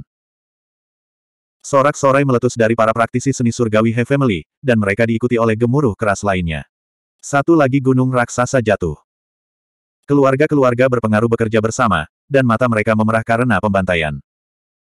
Setelah menggulingkan raksasa gunung, keluarga Fang memotong-motong mereka untuk mengubahnya menjadi ratusan raksasa bukit yang lebih kecil untuk terus bertarung dalam pertempuran. Ketika dikombinasikan dengan pembentukan He Family, serangan meteorologi keluarga Fu, rumput dan pohon-pohon keluarga Si, sungai panjang dan lebar keluarga Gong, racun keluarga Mu, dan keterampilan pedang keluarga Luo, kekuatan pemberontakan terus tumbuh. Perlahan-lahan, pertempuran mereda, karena hanya ada beberapa ribu raksasa bukit yang tersisa. Praktisi seni surgawi yang tak terhitung jumlahnya dari semua keluarga terengah-engah saat mereka berdiri di antara balok-balok batu. Raksasa Gunung True Heaven Palace akhirnya dihancurkan oleh mereka. Puluhan ribu praktisi seni surgawi perempuan mengangkat kepala mereka dan melihat True Heaven Palace yang jauh di atas mereka. Mereka akhirnya mencapai langkah pertama dari rencana mereka. Mereka berhadapan dengan tanah suci dan akan berjalan ke tempat yang mewakili hak surgawi bumi barat. Meskipun mereka telah mengorbankan saudara perempuan yang tak terhitung jumlahnya, penggulingan istana surga sejati adalah pencapaian luar biasa yang pengorbanannya sepadan. True Heaven Palace terdiam. Tiba-tiba, suara denting emas dan logam terdengar. Aura dewa perlahan menyebar, tumbuh semakin kuat. Dengan True Heaven Palace sebagai pusatnya, aura dewa membanjiri segala arah, menekan para praktisi seni surgawi dari semua keluarga yang berpengaruh. Mereka kesulitan bernapas. Dentingan logam menjadi semakin keras. Akhirnya, sebuah patung emas keluar dari gerbang istana dengan mata tertutup. Tubuhnya tinggi, kokoh, dan lebih dari 30 meter. Tanda pada tubuhnya berkedip dengan cahaya. Patung dewa itu membuka matanya, dan cahaya surgawi bersinar di langit sebelum menyapu tanah. Patung-patung itu seperti dewa hidup yang sejati. Beberapa saat kemudian, patung dewa lain berjalan keluar, diikuti oleh yang ketiga, keempat, kelima. Tujuh patung dewa berjalan keluar dari True Heaven Palace dan berdiri di depan gerbang. Cahaya surgawi dari mata mereka menerangi seluruh tempat. Mereka adalah patung dewa yang telah dibangunkan oleh teknik untuk membangkitkan roh. Mereka pernah mengalami yang tahu berapa tahun baptisan menjadi kuat secara tidak normal, seperti dewa. Suara berderak datang dari True Heaven Palace, dan puluhan ribu praktisi seni surgawi dari keluarga Yu berjalan keluar satu demi satu. True Heaven Palace Master muncul di bawah gerbang istana dan memandang ke bawah pada para prajurit yang siap menyerang tempatnya, dan cemoohan muncul di wajahnya. Darah semua orang menjadi dingin. Lebih dari sepuluh ribu orang telah meninggal atau menderita luka-luka hanya untuk memusnahkan raksasa gunung yang berfungsi sebagai penjaga. Namun mereka hanyalah kekuatan luar dari True Heaven Palace. Inti telah dipertahankan dan bahkan lebih mengerikan. Tujuh patung dewa itu mungkin cukup untuk menghapus semua keluarga yang berpengaruh. Selain itu, dengan puluhan ribu praktisi kuat keluarga Yu, yang menanti para pemberontak adalah kekalahan total dan total. Qin Mu melihat sekeliling dan melihat keputusasaan tertulis di wajah bahkan Hei Yi, Fang Kaidi, dan Luo Yinyu. Dia pergi ke sisi Fu Yunxi dan bertanya padanya, Saudari Yunxi, Anda bisa mengendalikan fenomena meteorologis sehingga Anda bisa mengendalikan kilat. Fu Yunxi mengangguk dan berkata dengan sedih, keluarga Fu saya terampil dalam mengendalikan fenomena meteorologi, dan kilat juga menjadi bagian darinya. Namun, setelah pertempuran ini, teknik fenomena meteorologi di bumi barat mungkin akan hilang. Qin Mu tersenyum. Berapa banyak kilat yang bisa kalian kontrol? Fu Yunxi sedikit terpana oleh kata-katanya dan menatapnya. Qin Mu mengambil sarang naga yang sebenarnya dan berkata dengan sungguh-sungguh, Fatih Dragon, datang. Naga kilin segera berlari, dan Qin Mu mendarat di punggungnya. Dia mengeluarkan Five Thunder Pot dan meletakkannya di kepala naga kilin.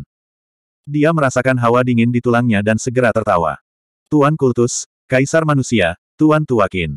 Mengapa kamu melakukan ini? Konstitusi binatang kecil ini lemah dan tulangnya rapuh.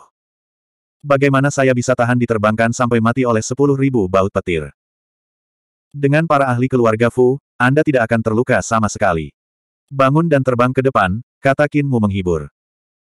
Sambil menggigil tak terkendali, naga kilin menginjak awan api untuk terbang. Kinmu berkata dengan sungguh-sungguh, Saudari Yunxi, minta semua murid keluarga Fu mengikuti saya.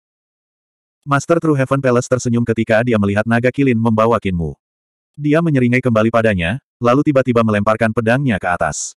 Itu terbelah, dan 8.000 pedang menusuk Five Thunder Cauldron bersamaan. Bab 466 saat 8.000 pedang terbang menusuk Five Thunder Pot, dunia menjadi sunyi senyap, tanpa ada suara yang terdengar. Bahkan pedang terbang tidak membuat suara. Kemudian, ruang di atas Five Thunder Pot meledak sebagai jejak petir meletus. Petir hitam membentang ke atas dan meledak, mengalir ke langit. Berdiri di depan gerbang istana, True Heaven Palace Master melihat kilat hitam yang tampak seperti naga banjir memamerkan taringnya dan mengacungkan cakarnya. Itu kemudian berpisah, dan kilat yang tak tertandingi tampak seperti sekelompok naga banjir bergegas ke atas. Dalam sekejap, ada lebih dari sepuluh ribu baut yang melesat ke langit.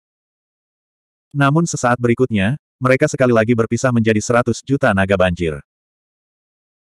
Awan yang tak tertandingi terbentuk di depan True Heaven Palace dan Five Thunderpot melayang ke langit, melepaskan baut petir yang terus-menerus meluncur ke atas ke dalam petir. Sementara itu, di belakang petir, Fu Yunxi memiliki puluhan ribu wanita dari keluarga Fu untuk mengeksekusi seni surgawi mereka, mendorong petir untuk bergegas di True Heaven Palace. Ekspresi Master Istana berubah secara drastis, dan dia meraih manik kura-kura hitam yang digunakan oleh salah satu penatua keluarga Yu. Sebelum jari-jarinya bisa membungkusnya, bagaimanapun, petir yang menakutkan telah mencapai True Heaven Palace. Di mana pun berlalu, visi yang dibentuk oleh manik-manik macan putih, manik-manik burung vermilion, dan manik-manik kura-kura hitam semuanya hancur. Laut menguap, api padam, dan gunung emas hancur. Ledakan. Petir pertama menyerang dan langsung menuju True Heaven Palace. Sebuah ledakan terdengar ketika menabrak patung dewa. Baut petir pertama adalah seperti percikan yang jatuh ke panci minyak mendidih, langsung menyalakan segala yang ada di dalamnya. Itu juga seperti tetesan hujan pertama dari awan hujan lebat, dan yang terjadi berikutnya adalah miliaran dan miliaran baut kilat melesat di langit dan menenggelamkan True Heaven Palace. Black Tortoise Divine Shield Master True Heaven Palace berteriak sambil berjuang untuk hidupnya untuk mengaktifkan manik-manik kura-kura hitam. Perisai kura-kura hitam besar kemudian diperluas keluar, menutupi bagian depan True Heaven Palace. Ledakan. Baut petir yang tak terhitung jumlahnya meledak pada saat menyerang perisai kura-kura hitam, dan permukaan perisai surgawi terus menyusut dari terkompresi.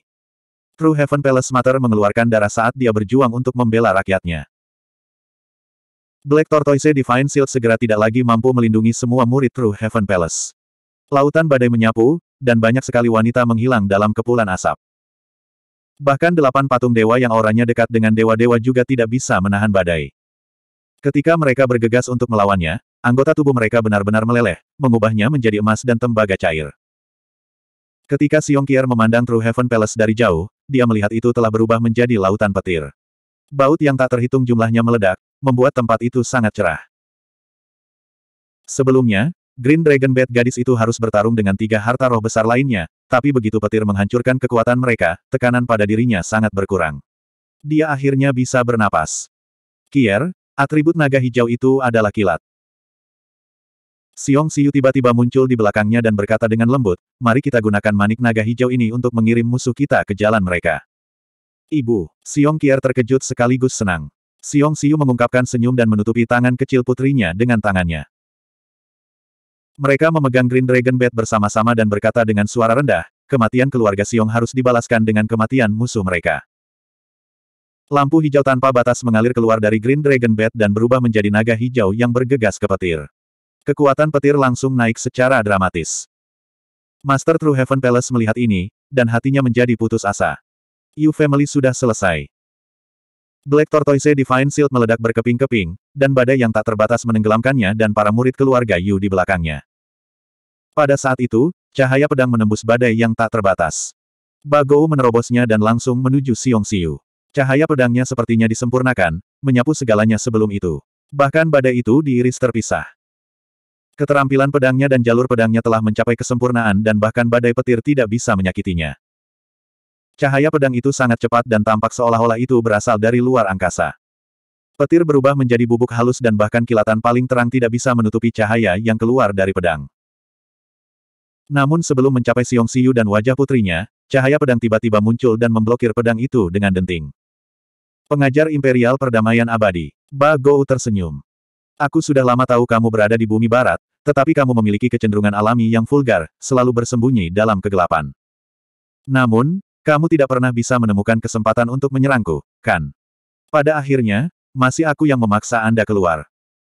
Eternal Peace Imperial Preceptor berjalan mendekat, menginjak udara seolah itu tanah datar. Dia tidak memiliki ekspresi dan mengenakan pakaian hijau. Sebuah pedang ada di tangan kanannya sementara kirinya berada di belakang punggungnya, memegangi rahasia pedang. Bagou mengenakan pakaian putih, tetapi dia juga memiliki tangan di belakang punggungnya sambil memegangi rahasia pedang. Kedua sosok itu bergerak naik turun melalui badai. Meskipun suara guntur sangat mengguncang dunia, itu tetap tidak bisa menutupi benturan pedang. Dentingan itu seperti manik-manik yang jatuh di atas piring batu giok, berdering terus-menerus. Di bawah Five Thunderpot, Mu sedang ditarik oleh energi petir yang intens. Kekuatan tariknya menghisapnya dan naga kilin ke arah sambaran petir. Bahkan naga gemuk kilin tampaknya hanya seberat kertas, ditarik oleh arus listrik. Dia memukul tanpa daya, tapi tidak ada yang bisa dia ambil. Kinmu juga merasa bahwa dia menjadi sangat ringan, dan rambutnya terbang ke segala arah. Di antara untaiannya, kilat menyilang dan bola-balik secara acak sambil bergerak. Dia bahkan merasakan semua rambut di tubuhnya terisi dengan sambaran petir saat kekuatan mengerikan menghantam tubuhnya. Rasanya seolah-olah dia telah ditikam di seluruh oleh jarum immortal putih, tidak ada tempat yang tidak sakit. Kinmu menghabiskan semua energinya untuk mengeksekusi keterampilan kebangkitan mata sembilan surga, dan sinar petir juga memenuhi matanya. Dia hampir tidak bisa melihat naga kilin, bahkan jika surai binatang buas itu telah bangkit dan bahkan sisiknya berdiri tegak. Petir berguling di atas mereka, memantul ke sana kemari. Kinmu mengambil sarang naga yang sebenarnya. Bobotnya menekannya, dan dia tidak bisa menahan diri untuk mendengus. Namun, dia akhirnya menekan tarikan petir, dan tubuhnya akhirnya jatuh dari langit. Dalam perjalanan, dia menabrak naga kilin dan membawanya juga. Dengan kedua tangan memeluk sarang naga, dia menggunakan beratnya untuk melepaskan diri dari tarikan petir. Ketika dia berada cukup jauh, dia mengangkat kepalanya untuk menatap langit. Five Thunderpot melayang di sana, menaikkan semakin tinggi. Delapan ribu pedangnya tampaknya membeku dalam waktu dan melayang di sekitar Five Thunderpot. Petir melewati mereka seolah-olah mereka adalah penangkal petir, menariknya dengan sengaja. Pedang terbang menjadi merah panas dari energi yang menakutkan, dan Kinmu khawatir jika mereka bahkan bisa menahan dampak petir surgawi dari Five Thunderpot.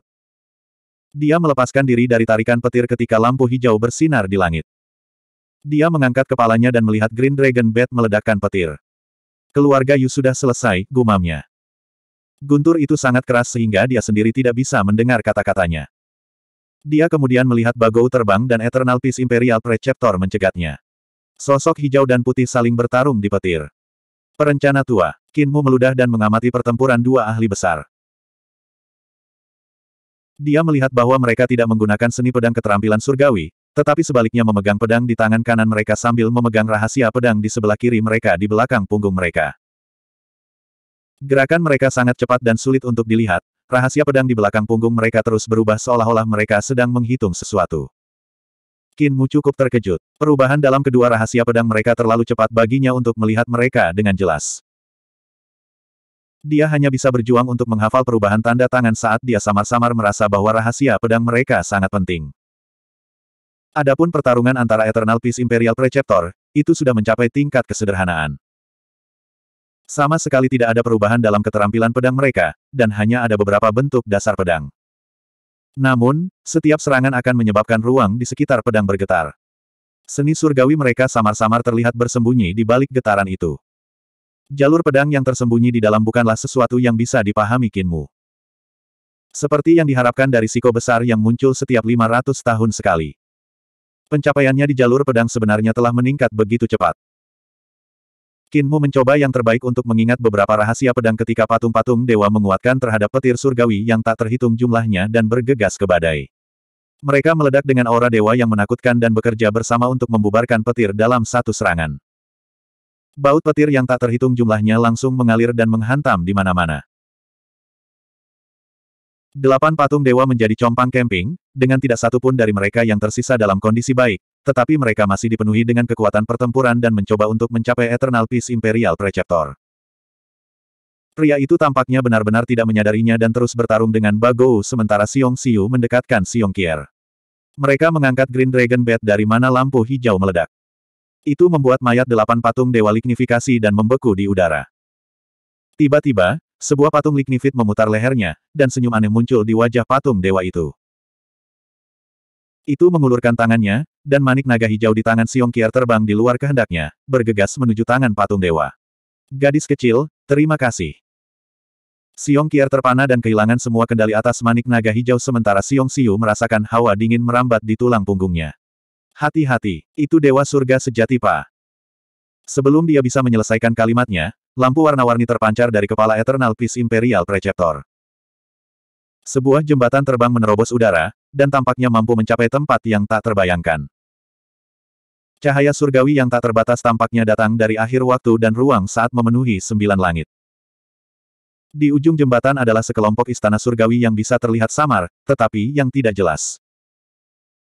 Roh primordial Imperial Eternal Peace Imperial bergegas keluar dari istana langit yang kabur dan melangkah ke jembatan surgawi. Pedangnya melayang, sepertinya mengabaikan ruang. Cahaya pedang melewati waktu, dan saat patung dewa itu mengambil manik naga hijau, roh purba menembus alisnya. Pisau itu menusuk ke belakang kepalanya. Darah menetes ke dahi, patung dewa, dan ada darah dan materi otak yang mengalir keluar dari belakang kepala juga. Kerusakannya tidak seperti yang dilakukan pada patung dewa, tetapi bentuk hidup. Wajah tanpa ekspresi Imperial Eternal Peace Imperial akhirnya tersenyum ketika roh primordialnya melonjak kembali ke udara. Dengan sebuah tangan di belakang punggungnya dan sebuah tangan yang memegang pedang, dia mengelilingi Bagou. Kamu tidak pernah menjadi targetku. Ci, ci, ci. Dia menyerang dengan roh primordialnya dari dua sisi, dan lampu pedang menyala ketika mereka memutuskan anggota badan Bagou. Dia kemudian mengangkat pedangnya untuk memotong kepala Bagou. Jembatan Surgawi. Kinmu berteriak dengan khawatir, dan kegugupannya akhirnya tenang. Eternal Peace Imperial Preceptor tidak diragukan lagi adalah orang suci yang muncul setiap 500 tahun sekali. Hanya setengah tahun telah berlalu sejak Kinmu dan sisanya telah membentuk model aljabar ruang jembatan surgawi, dan dia benar-benar berhasil mengolah jembatan surgawi. Siasat tua, kamu selesai menambal jembatan surgawi kamu dan memasuki istana celestial sehingga kamu sudah menjadi dewa, namun kamu masih bersembunyi di sudut dan skema melawan orang-orang. Kinmu mengutuknya diam-diam sementara teriakan wanita yang tak terhitung jumlahnya terdengar di belakangnya. Di bawah kepemimpinan kepala semua klan, para praktisi seni surgawi dari semua keluarga berpengaruh menyerang True Heaven Palace. Mu Yingsui melewati sisi Qin Mu dan berkata dengan suara rendah, pria kecil, sementara Eternal Peace Imperial Preceptor masih hidup, tidak pernah memberontak. Anda tidak bisa mengakali dia.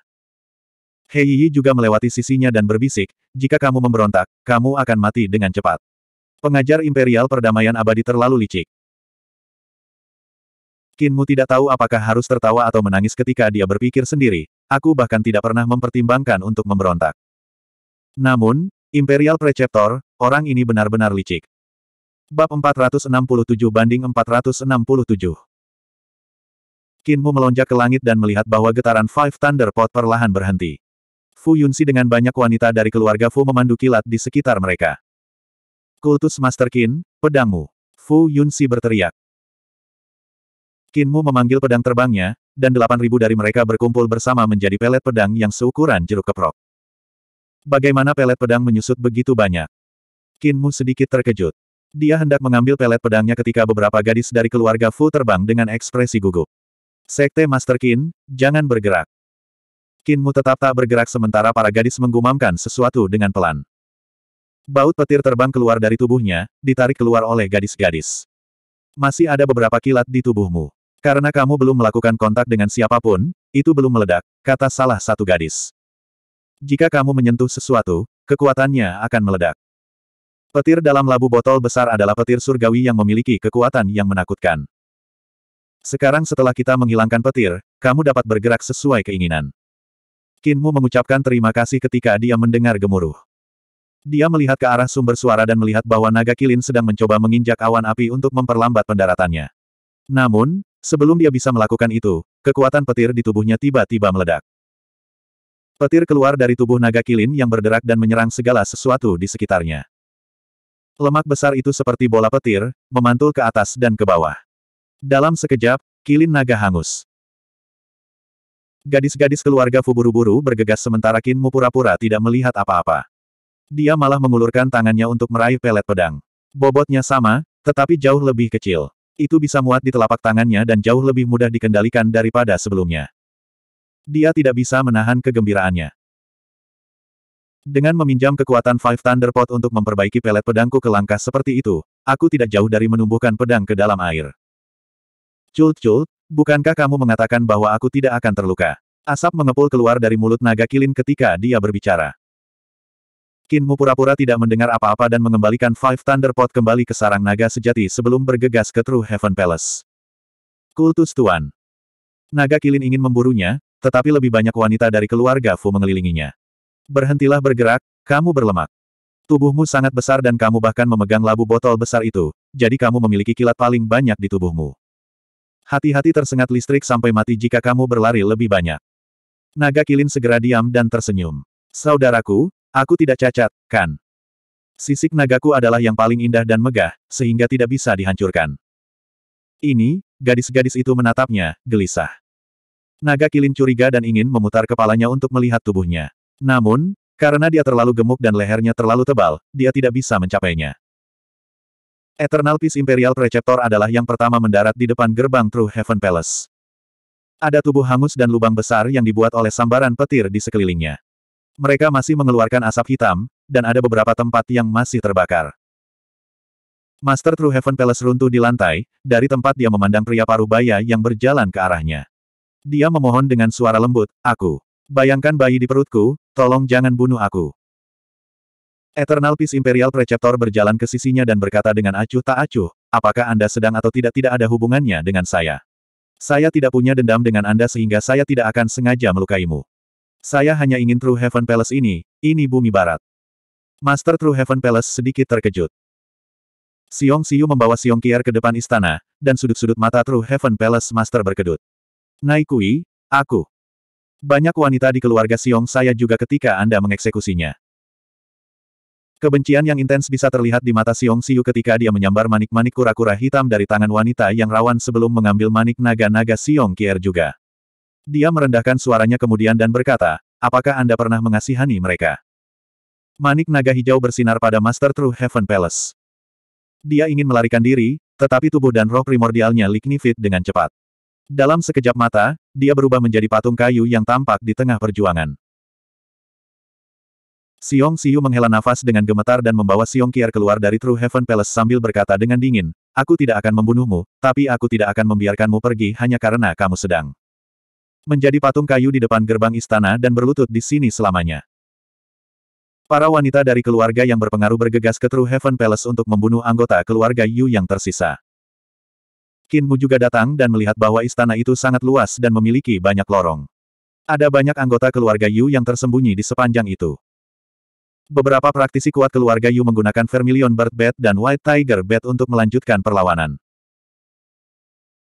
Kekuatan kedua manik-manik itu sangat kuat, karena meskipun budidaya orang-orang yang mengendalikan dua harta roh itu tidak terlalu tinggi, mereka masih bisa melepaskan kekuatan yang menakjubkan. Kinmu membantai jalannya ke istana dengan semua orang sambil berpikir, Pangong So masih harus di istana, kan? Tidak peduli apa, aku tidak bisa melepaskannya kali ini. Tiba-tiba, Cahaya kemasan bersinar ketika seorang wanita mengangkat manik emas yang tembus cahaya. Di dalamnya ada jiwa harimau putih. Ketika cahaya kemasan meledak dari manik-manik, orang-orang yang tertangkap olehnya langsung hancur berkeping-keping. Kinmu mengeksekusi pelet pedangnya dengan terburu-buru, dan delapan ribu pedang mengelilinginya. Suara pertempuran bisa terdengar di kejauhan, tapi dia tertiup ke belakang oleh cahaya kemasan, bersama dengan pedangnya. Kinmu jatuh beberapa kali sebelum berhenti. Dia kemudian melihat bahwa dia telah terbang puluhan meter. Manik macan putih. Dia menghindar ke aula besar ketika cahaya kemasan datang mengalir seperti banjir melalui yang dia alami beberapa saat yang lalu. Kinmu memfokuskan pandangannya untuk melihatnya dan melihat bahwa di mana pun cahaya emas berlalu, ki emas tampaknya tersebar. Para wanita yang telah mati di bawah cahaya kemasan telah terluka oleh ki emas yang tak tertandingi. Kinmu memeluk pilar besar dan mengerahkan kekuatan dari pinggangnya, berencana untuk mengangkatnya dan menggunakannya untuk menghancurkan ahli keluarga Yu yang mengendalikan manik-manik macan putih. Pilar itu tidak bergerak sama sekali. Kinmu memberi gerutuan dan mengerahkan lebih banyak kekuatan, namun, pilar itu masih tidak bergerak. Cult Qin, ini adalah True Heaven Palace. Tiba-tiba, Kinmu mendengar suara Liu Zhenxing.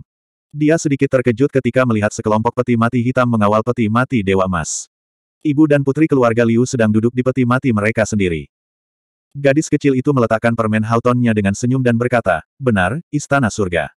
Istana surgawi yang asli. Terkejut, Kinmu berteriak, maksudmu. Istana celestial ini jatuh dari langit, ini bukan palsu. Liu Zhenxing melompat keluar dari peti matinya setelah menusuk permen Hauton ke dalamnya. Dia naik ke peti mati emas dan melepaskan satu jimat demi satu. Cepat minggir, yang lama keluar. Simpan rantai itu dengan benar.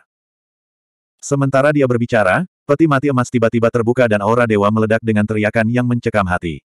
Seorang tokoh agung bergegas menuju cahaya kemasan. Ledakan. Ledakan keras datang dari belakang istana, dan suara mengunyah bisa terdengar. Liu Zhenxing sangat gugup dan menginstruksikan kepada orang-orang keluarga Liu, cepat menarik kembali rantai itu. Lebih cepat, seret kembali benda tua itu.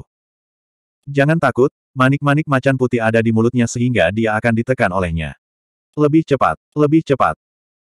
Rantai berderak ketika para ahli keluarga Liu dengan cepat menarik mereka kembali dari banyak peti mati hitam mereka. Setelah beberapa saat, mayat dewa yang tinggi dan kokoh diseret ke belakang. Itu berjuang dengan sekuat tenaga, berusaha membebaskan diri. Liu Zhenxing dan Liu Ruyin maju dan mengerahkan semua kekuatan mereka untuk menarik mayat dewa kembali ke peti mati. Liu Zhenxing naik ke kepala mayat dewa dan meninju hidungnya dengan geram dengan tinjunya yang kecil sambil berteriak, keluarkan, cepat ludahkan. Pipi mayat dewa itu melotot, jadi jelas ada sesuatu yang tersembunyi di dalamnya. Mayat dewa memandangi gadis kecil yang berani itu seolah-olah ingin memakannya. Namun, keempat anggota tubuhnya dirantai sehingga tidak bisa bergerak. Item di mulut mayat itu adalah White Tiger Bat yang telah ditelan bersama dengan pakar True Heaven Palace yang memegangnya. Tapi begitu White Tiger Bat masuk ke mulutnya, ia menyadari betapa menakutkannya itu. White Tiger Bat tidak hanya tidak turun ke tenggorokannya, tetapi bahkan hampir berasimilasi mayat dewa. Liu Zhenxing memukuli hidung mayat dewa sampai semuanya berdarah. Mayat dewa akhirnya tidak bisa menahan lagi dan membuka mulutnya untuk mengeluarkan White Tiger Bat bersama dengan kepulan racun mayat menuju Liu Zhenxing. Bang! Peti mati ditutup, dan Liu Zhenxing dengan cepat menempelkan jimat penyegel kembali sebelum mengambil manik macan putih dari lantai. Dia berseri-seri dengan sukacita sebelum melompat kembali ke peti mati kecilnya dan mengeluarkan permen Halton untuk menjilat lainnya. Dia tersenyum pada Kinmu dan berkata, Saudara Kin, kami akan kembali. Ayo temukan kami di Gadburial Valley untuk bermain bersama kami ketika Anda bebas. Kinmu tertawa keras dan melambai pada mereka. Ayo pergi. Peti mati terbalik dengan keras dan menutupi gadis kecil di dalam. Namun, suara membosankan Liu Zhenxing masih mencapai luar, dan itu terdengar penuh kebanggaan. Tidak ada lagi pertempuran, kembali ke lembah pemakaman dewa. Keluarga Liu kita tidak di sini untuk menghancurkan otoritas True Heaven Palace. Dengan Bad Tiger putih, lembah pemakaman dewa keluarga Liu kita juga bisa menjadi tanah suci bumi barat. Banyak peti mati hitam mengawal peti mati emas dalam penarikan mereka dari True Heaven Palace. Adik perempuan Liu Zhenxing luar biasa dan mungkin bisa membuat tanah suci mayat. Kinmu terus menuju lebih jauh ke True Heaven Palace sambil berpikir untuk dirinya sendiri. Namun, saya tidak boleh memanggil adik perempuannya karena usianya harus sama dengan ibunya Liu Ruin. Mereka berdua harus berusia 4 hingga 500 tahun. Di kedalaman True Heaven Palace, ada harta roh yang memiliki kekuatan yang menakjubkan. Vermilion Bird membakar segala yang melaluinya api yang sebenarnya lewat. Hanya istana True Heaven Palace sendiri yang tidak tersentuh. Ada orang-orang dari keluarga berpengaruh yang mengalir keluar menuju kekuatan Vermilion Bird Jelaslah bahwa mereka berencana untuk memegangnya sebelum Xiong Xiu dan putrinya dapat mengambilnya sendiri. Jadi, itu Cult Master Qin. Dari aula besar lainnya, Eternal Peace Imperial Preceptor berjalan keluar dengan senyum langka. Dia mengangguk pada Qinmu sebagai pengakuan. Qinmu berjalan maju dan bertanya dengan ragu, Imperial Preceptor, dengan kemampuan Anda saat ini, mencuri tiga manik-manik roh besar tidak sulit namun Anda mengabaikan harta benda True Heaven Palace. Apa sebenarnya yang Anda cari? Sejarah Eternal Peace Imperial Preceptor berjalan ke istana lain sambil berkata dengan santai, harta karun istana surga sejati adalah milik bumi barat dan aku tidak akan memperebutkannya.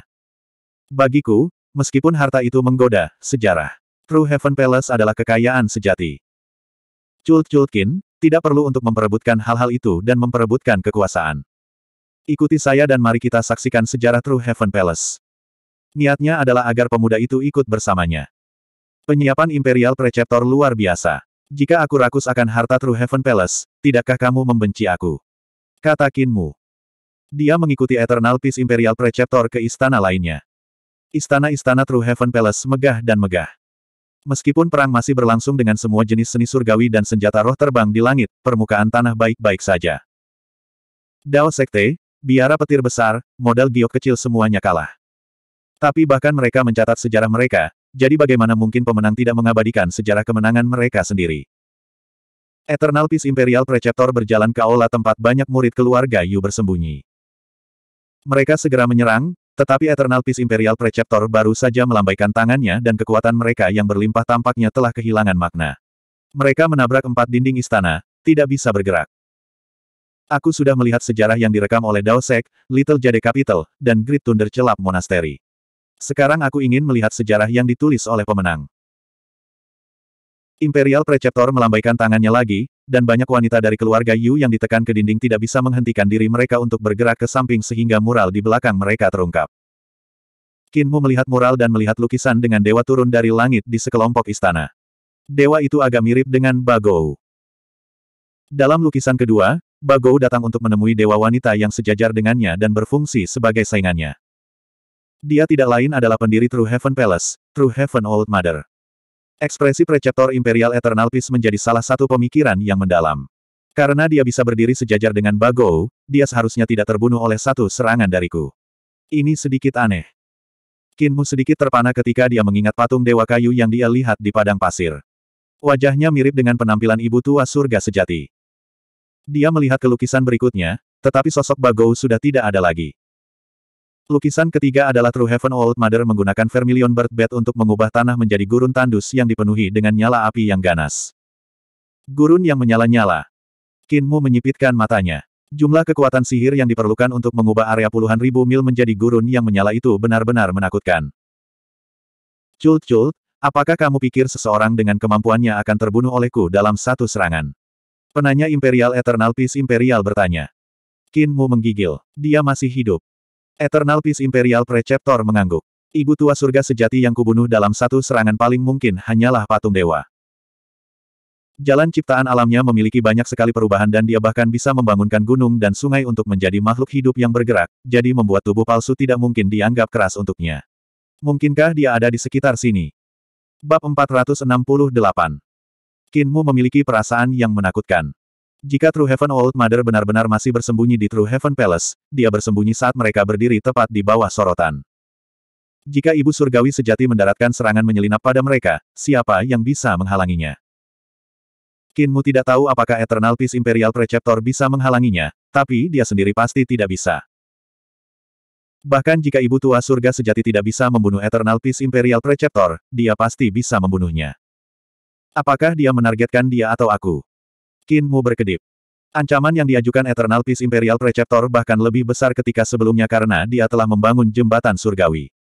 Dia telah menyingkirkan Bagou dan tubuh palsunya, jadi dengan benar, dia harus menjadi targetnya. Tapi di gurun yang menyala, patung Dewa True Heaven Old Mother telah menumpangkan tangan mereka pada Qin Mu berkali-kali. Selain itu, invasi True Heaven Palace memiliki banyak hubungannya dengan dia.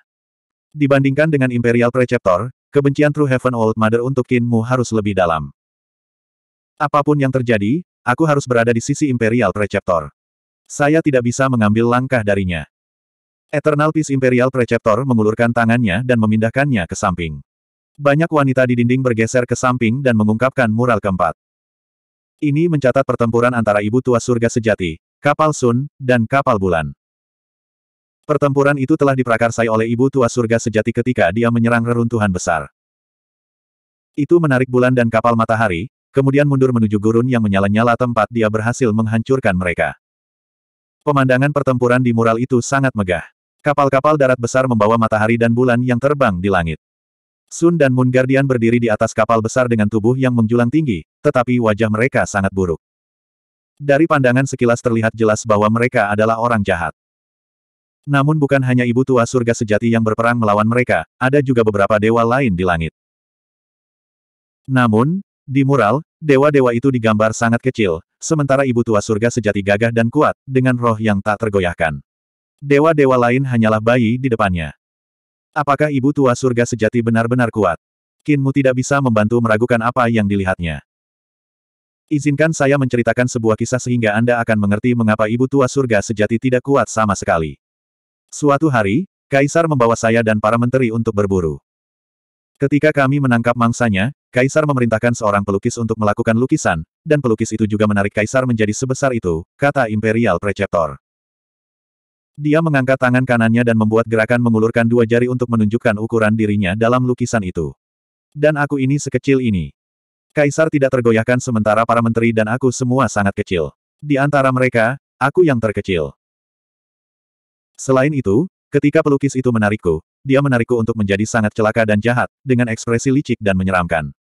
Sang kaisar tidak puas sehingga ia memerintahkan pelukis untuk menggambarnya kembali, tetapi akhirnya sama. Dengan demikian, kaisar memecatnya, memintanya untuk segera kembali ke rumah. Kinmu mengerti apa yang dia maksud dan tersenyum. Orang yang melukis mural ini sedang menjara ibu surga tua yang benar. Dia seharusnya tidak lebih kuat darimu, jika tidak, dia tidak akan menggunakan tubuh palsu untuk menyerangmu. Surga sejati kemampuan bunda tua harus sangat kuat, tetapi kekuatan pertarungannya harus memiliki cacat besar. Kekuatan sihirnya sangat kuat, tetapi mantranya juga di jalur segala sesuatu yang memiliki roh dan semua hal memiliki jiwa. Jika dia tidak tidak menunjukkan dirinya sendiri, aku tidak bisa melakukan apa pun padanya. Tetapi jika dia menunjukkan dirinya, dia sudah mati. Eternal Peace Imperial Preceptor memiliki banyak kepercayaan diri, tetapi dia tiba-tiba mengubah topik pembicaraan. Dia sepertinya memperingatkan Kinmu ketika dia berkata, ada penjilat di samping kaisar, jadi bagaimana mungkin tidak ada orang selain yang berkuasa. Namun, Orang-orang semacam ini tidak menakutkan, pikiran mereka yang menakutkan. Pelukis itu menarik saya dan para menteri sebagai sosok kecil dan itu bisa dimengerti, tetapi dia seharusnya tidak membuat saya menjadi jahat dan licik, karena itu melibatkan kebencian pribadinya. Dia ingin menggunakan kesempatan itu untuk menjilat dan mempengaruhi pandangan kaisar. Ke arahku, untuk membuat kaisar berpikir bahwa aku jahat dan licik. Dia ingin menggunakannya untuk menyingkirkanku dan menghentikan reformasi. Menempatkan Butliking dan Tikaman di punggung bersama terlalu banyak. Dia memandang Kinmu dengan senyum yang tidak benar-benar senyum. Kultus Master memiliki posisi penting, dan bahkan Kaisar terkadang tidak dapat menandingi otoritas Anda. Anda perlu berhati-hati terhadap orang-orang yang menyembunyikan belati di belakang kentut mereka. Kinmu antara tawa dan air mata. Menyembunyikan belati di belakang kentut mereka. Imperial Preceptor disempurnakan dan vulgar pada saat yang sama. Ketika dia disempurnakan, dia bisa bercanda dengan tunarungu dan tukang daging, tetapi ketika dia vulgar, dia bahkan bisa mengatakan frasa seperti menyembunyikan belati di balik kentut. Namun, dia mengatakan yang sebenarnya. Memang tidak sulit untuk bertemu orang-orang seperti itu dalam kehidupan yang akan menikam pesaing mereka dengan sanjungan sambil menyembunyikan motif yang tidak terduga. Peringatan Eternal Peace Imperial Preceptor sangat benar. Di mural, ibu tua surga sejati dibantu oleh dewa-dewa lain, tetapi dari mana mereka berasal? Kinmu memeriksa mural dan memeriksa gambar para dewa lain di dalamnya, mencoba mengenali wajah mereka. Dia tiba-tiba melihat satu orang yang tampak familiar. Itu penguasa Giok. Mungkinkah yang lain juga menjadi dewa surga tinggi? Tidak, mereka tidak semua harus menjadi dewa surga tinggi. Dia mengenali wajah lain. Dia mengeluarkan gulungan dari tas tautinya dan dengan lembut membuka lipatannya. Dia menempatkannya berdampingan untuk perbandingan dan memeriksa dewa dalam lukisan itu lagi. Eternal Peace Imperial Preceptor sedikit terkejut. Bukankah ini lukisan untuk memberi penghormatan pada jiwa yang digambar guru kultus? Ini, Kinmu mengangkat kepalanya untuk memeriksa mural itu. Seni surgawi memberi hormat kepada jiwa yang digunakan Pangong So sangat aneh. Ketika dia memberi hormat kepada jiwa, penampakan dewa muncul di belakangnya. Aku melukisnya di sini. Pengajar kerajaan, tolong lihat, bukan. T dewa ini dalam lukisan saya terlihat mirip dengan dewa itu. Eternal Peace Imperial Preceptor melihat bola balik beberapa kali, lalu mengangguk. Keraguan muncul di wajah Kinmu, dan dia berpikir keras. Dewa Pangongso itu pernah muncul di dunia ini dan sama dengan ibu tua surga sejati. Salah satu dari mereka mendirikan istana surga sejati dan yang lain mendirikan istana emas Roland. Dalam hal ini, apakah dia masih di dunia ini? Jika dia masih hidup. Menggigil membasahi punggungnya meskipun dia tidak kedinginan. Seni surgawi Pangongso membunuh siapa pun yang ia hormati. Jika dewa itu sendiri yang akan mengeksekusinya, siapa yang bisa menahannya untuk memberi hormat?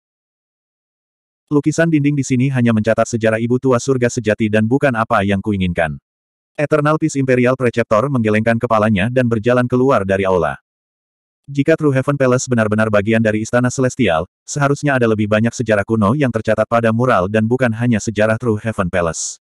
Pasti ada aula lain untuk sejarah yang lebih tua. Kinmu mengikutinya, dan baru saat itu para wanita keluarga Yu jatuh ke tanah, mendapatkan kembali gerakan mereka. Pertempuran di luar masih berlanjut dan situasinya sangat berantakan. Semua keluarga berpengaruh memperebutkan Vermilion Bird Bed. Mereka saling menghalangi dan membuat gerakan kotor. Kekuatan Vermilion Bird Bed luar biasa kuat dan tidak kalah dengan Green Dragon Bed.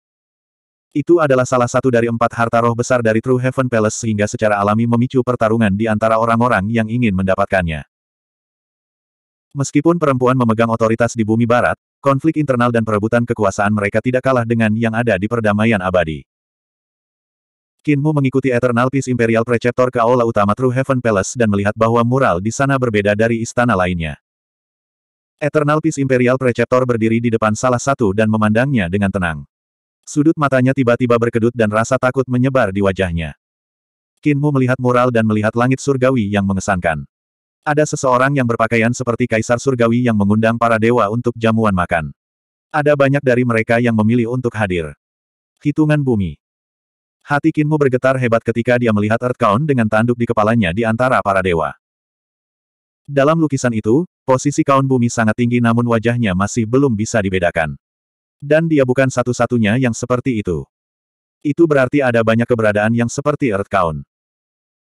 Dalam lukisan itu, para dewa semua dibekukan dalam pose yang berbeda, ditarik begitu jelas sehingga mereka tampak seperti akan keluar dan hidup kembali. Ini menunjukkan bahwa pelukis yang melukis mural itu sangat brilian. Tatapan Kinmu menyapu para dewa, tetapi dia tidak menemukan tanda-tanda ibu tua surga sejati atau bahkan Bagou. Mungkinkah ibu tua surga sejati itu bahkan belum dilahirkan saat itu? Sudut mata Eternal Peace Imperial Preceptor masih bergetar ketika dia berseru, ini adalah istana celestial sejati, istana celestial sejati. Tidak heran, tidak mengherankan bahwa bahkan era pendiri kaisar pun terhapus. Kinmu meraih tangannya, dan itu benar-benar bergetar. Ketakutan dan keraguan bisa dilihat di kedalaman mata kosong pria paruh baya itu. Imperial Preceptor takut dengan lukisan. Kinmu tertawa. Eternal Peace Imperial Preceptor berjuang keras, tetapi suaranya masih serak. Apakah kamu tidak takut? Apakah kamu tidak melihat berapa banyak dewa di istana celestial ini?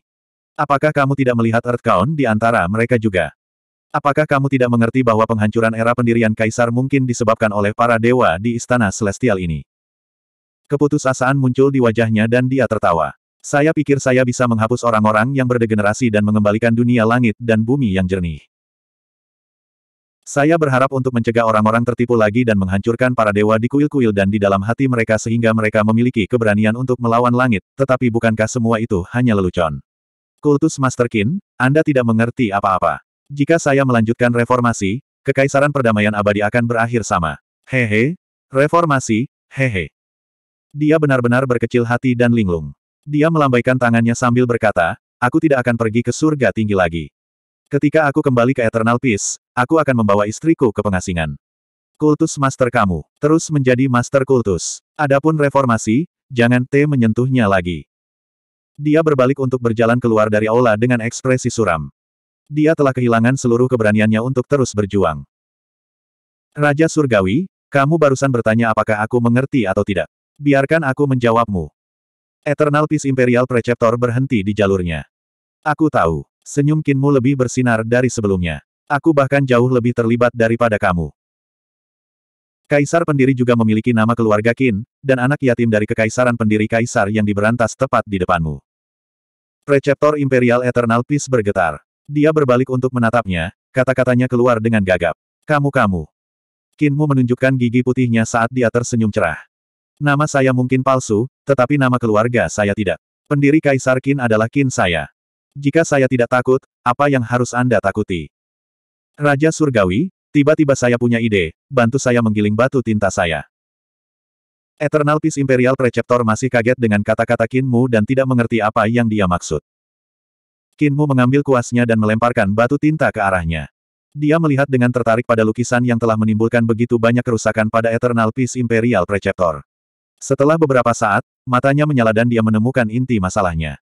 Sambil tersenyum, dia bertanya, apakah tinta sudah siap? Eternal Peace Imperial Preceptor berada dalam keadaan linglung, nyaris tidak menangkap batu tinta. Kinmu tersenyum dan berbicara sekali lagi. Raja Surgawi, ini tidak seperti kamu. Di mana orang suci yang muncul setiap 500 tahun.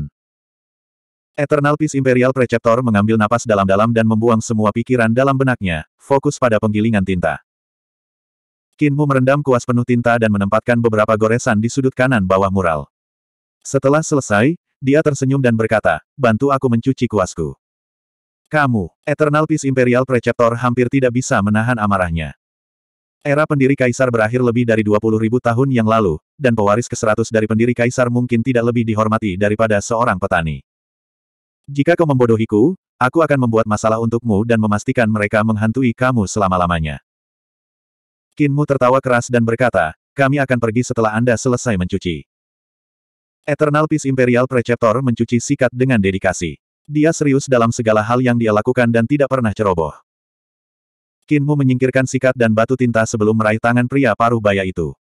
Dia menyeretnya ke mural sambil tersenyum. Biarkan aku membawamu ke sebuah pertemuan, perjamuan dari surga celestial. Mereka berdua melemparkan diri ke mural dan menghilang ketika mereka memasuki lukisan itu. Bab 469 banding 469 Pemandangan di depan mata Eternal Peace Imperial Preceptor tiba-tiba berubah. Ketika cahaya kembali, mereka datang ke istana surgawi. Mereka agung, dan gunung-gunung suci terbentang jauh ke kejauhan. Cahaya surgawi menyinari dunia yang tak terbatas. Apakah ini dunia dalam lukisan itu? Pengajar Imperial Perdamaian Abadi tercengang. Jika mereka ada di dunia dalam lukisan itu, bukankah itu agak terlalu luas? Dia melihat ke kejauhan, tetapi tidak ada ujung ke istana celestial. Dewa memenuhi langit di atas. Ada beberapa yang mengesankan, beberapa yang surgawi, dan beberapa yang melampaui keduniawian. Namun, sebagian besar dewa berjalan ke sana kemari, mencari dan memanggil teman-teman mereka sambil bertukar gelas anggur dan minum bersama dalam kelompok besar. Kinmu telah membawa Imperial Preceptor ke dalam lukisan dan jamuan langit surgawi. Ada koridor panjang di sekitar mereka yang seperti jembatan, pelangi terbang, matahari, dan bulan tergantung di atas pavilion, dan lentera dengan burung surgawi menyala di dalam yang bertindak sebagai lilin dan mengeluarkan panas. Ada juga dewi yang memainkan dawai dan alat musik tiup yang eksotis.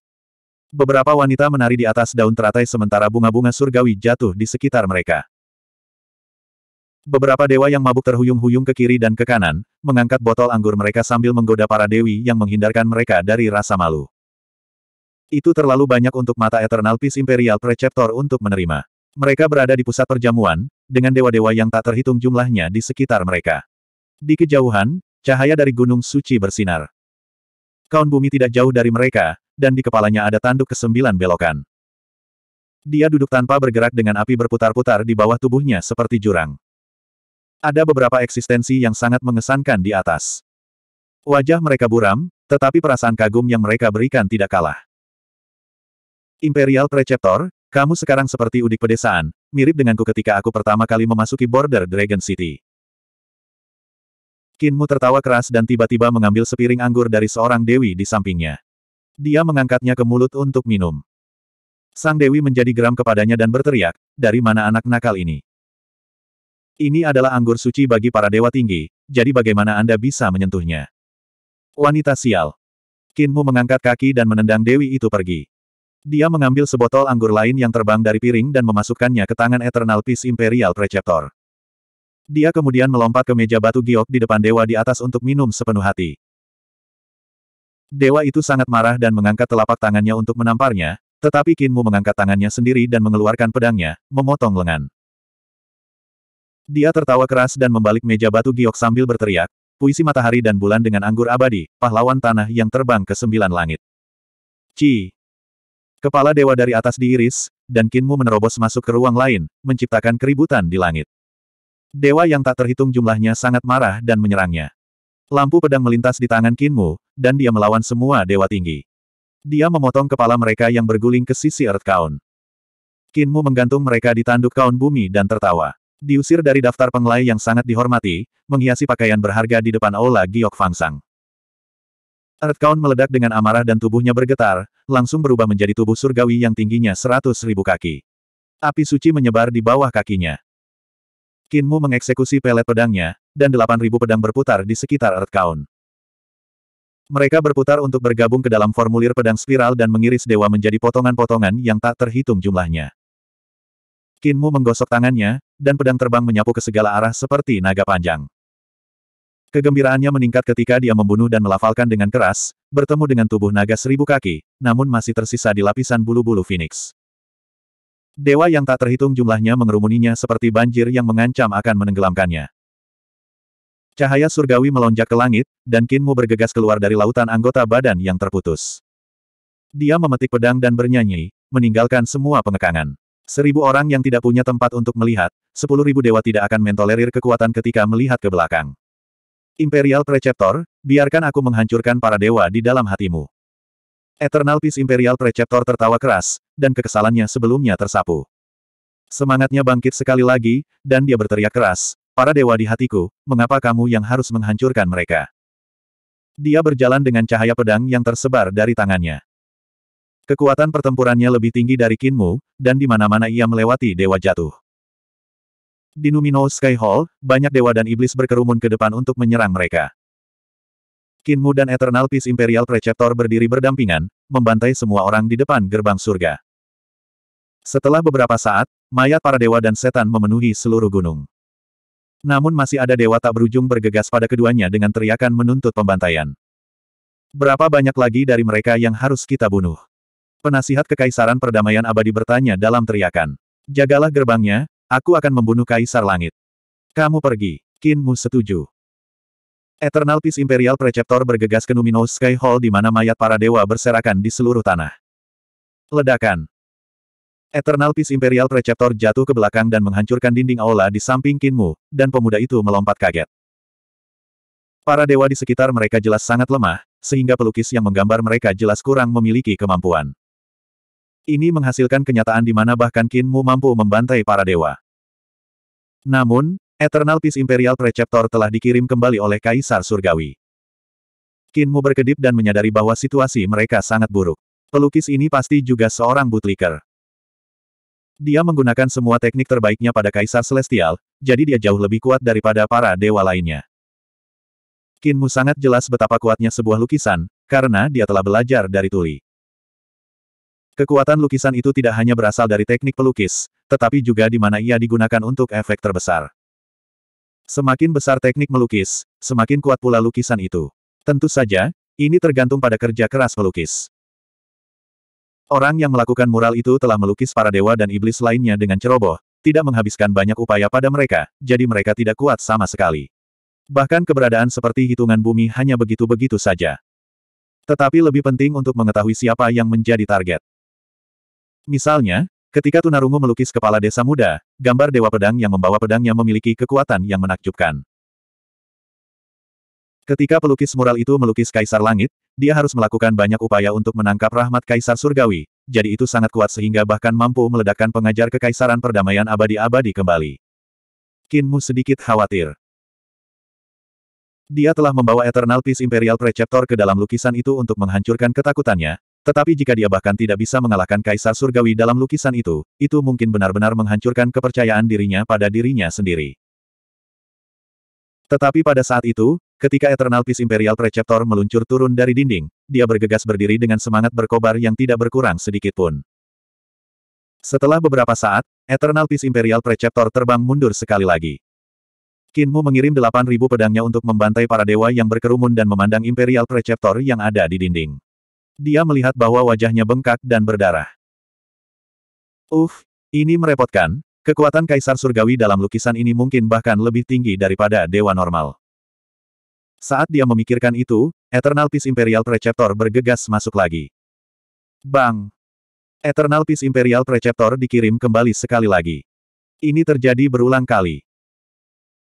Di depan gerbang surga Numinous Sky Hall, mayat para dewa dan setan sudah menumpuk, namun Eternal Peace Imperial Preceptor masih bergegas menuju Kaisar Surgawi di puncak Numinous Sky Hall dari waktu ke waktu. Dia dipukuli lagi dan lagi, penampilannya semakin menyedihkan setiap kali dia dikirim kembali. Tatapan Kinmu berkedip ketika ia menyiapkan Five Thunder Pot sambil berpikir untuk dirinya sendiri, bahkan jika saya harus mengambil risiko hidup saya untuk meledakkan tempat ini, saya tidak bisa membiarkan Kaisar Surgawi dalam lukisan untuk sepenuhnya mengalahkan Imperial Preceptor. Eternal Peace Imperial Preceptor bergegas maju sekali lagi dan semua teriakan pembantaian berhenti.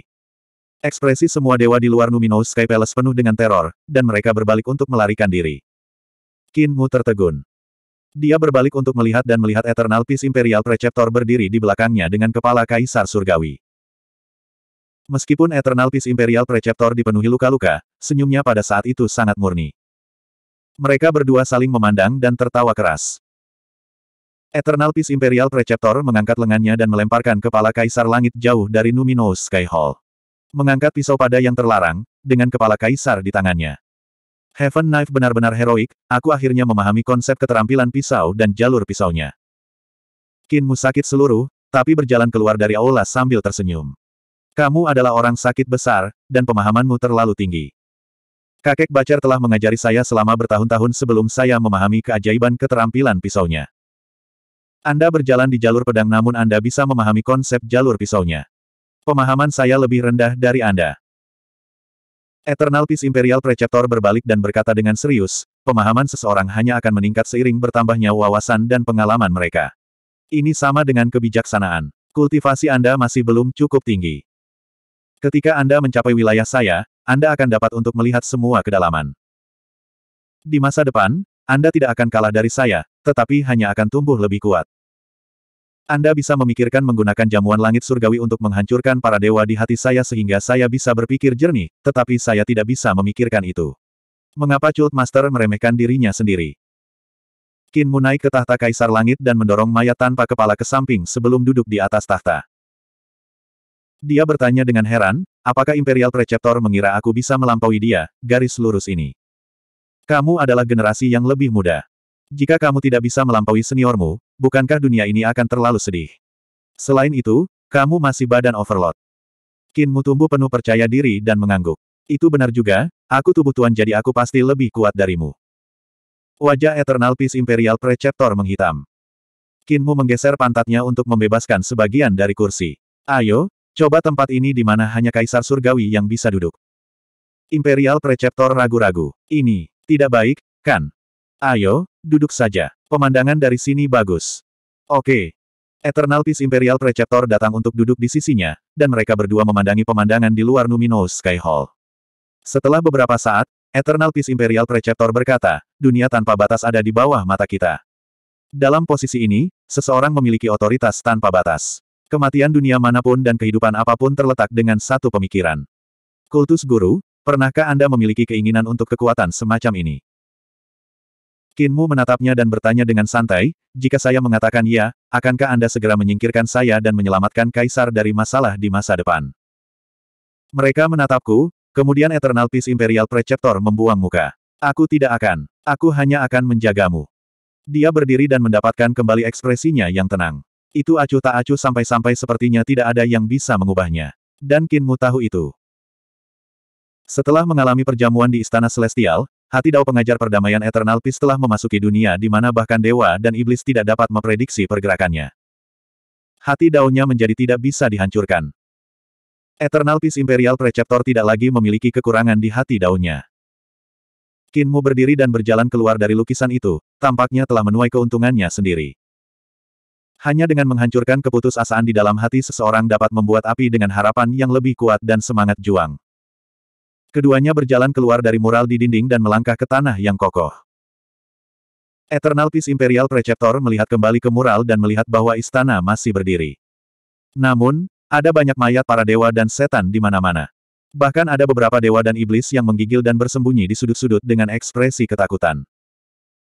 Kinmu pergi ke depan untuk menghapus beberapa kuas yang telah digambarnya, dan lukisan itu kembali normal. Dia menggaruk ikat kepalanya dengan bingung, pelukis yang menggambar lukisan ini memiliki pencapaian yang sangat tinggi dan tidak kalah dengan saya.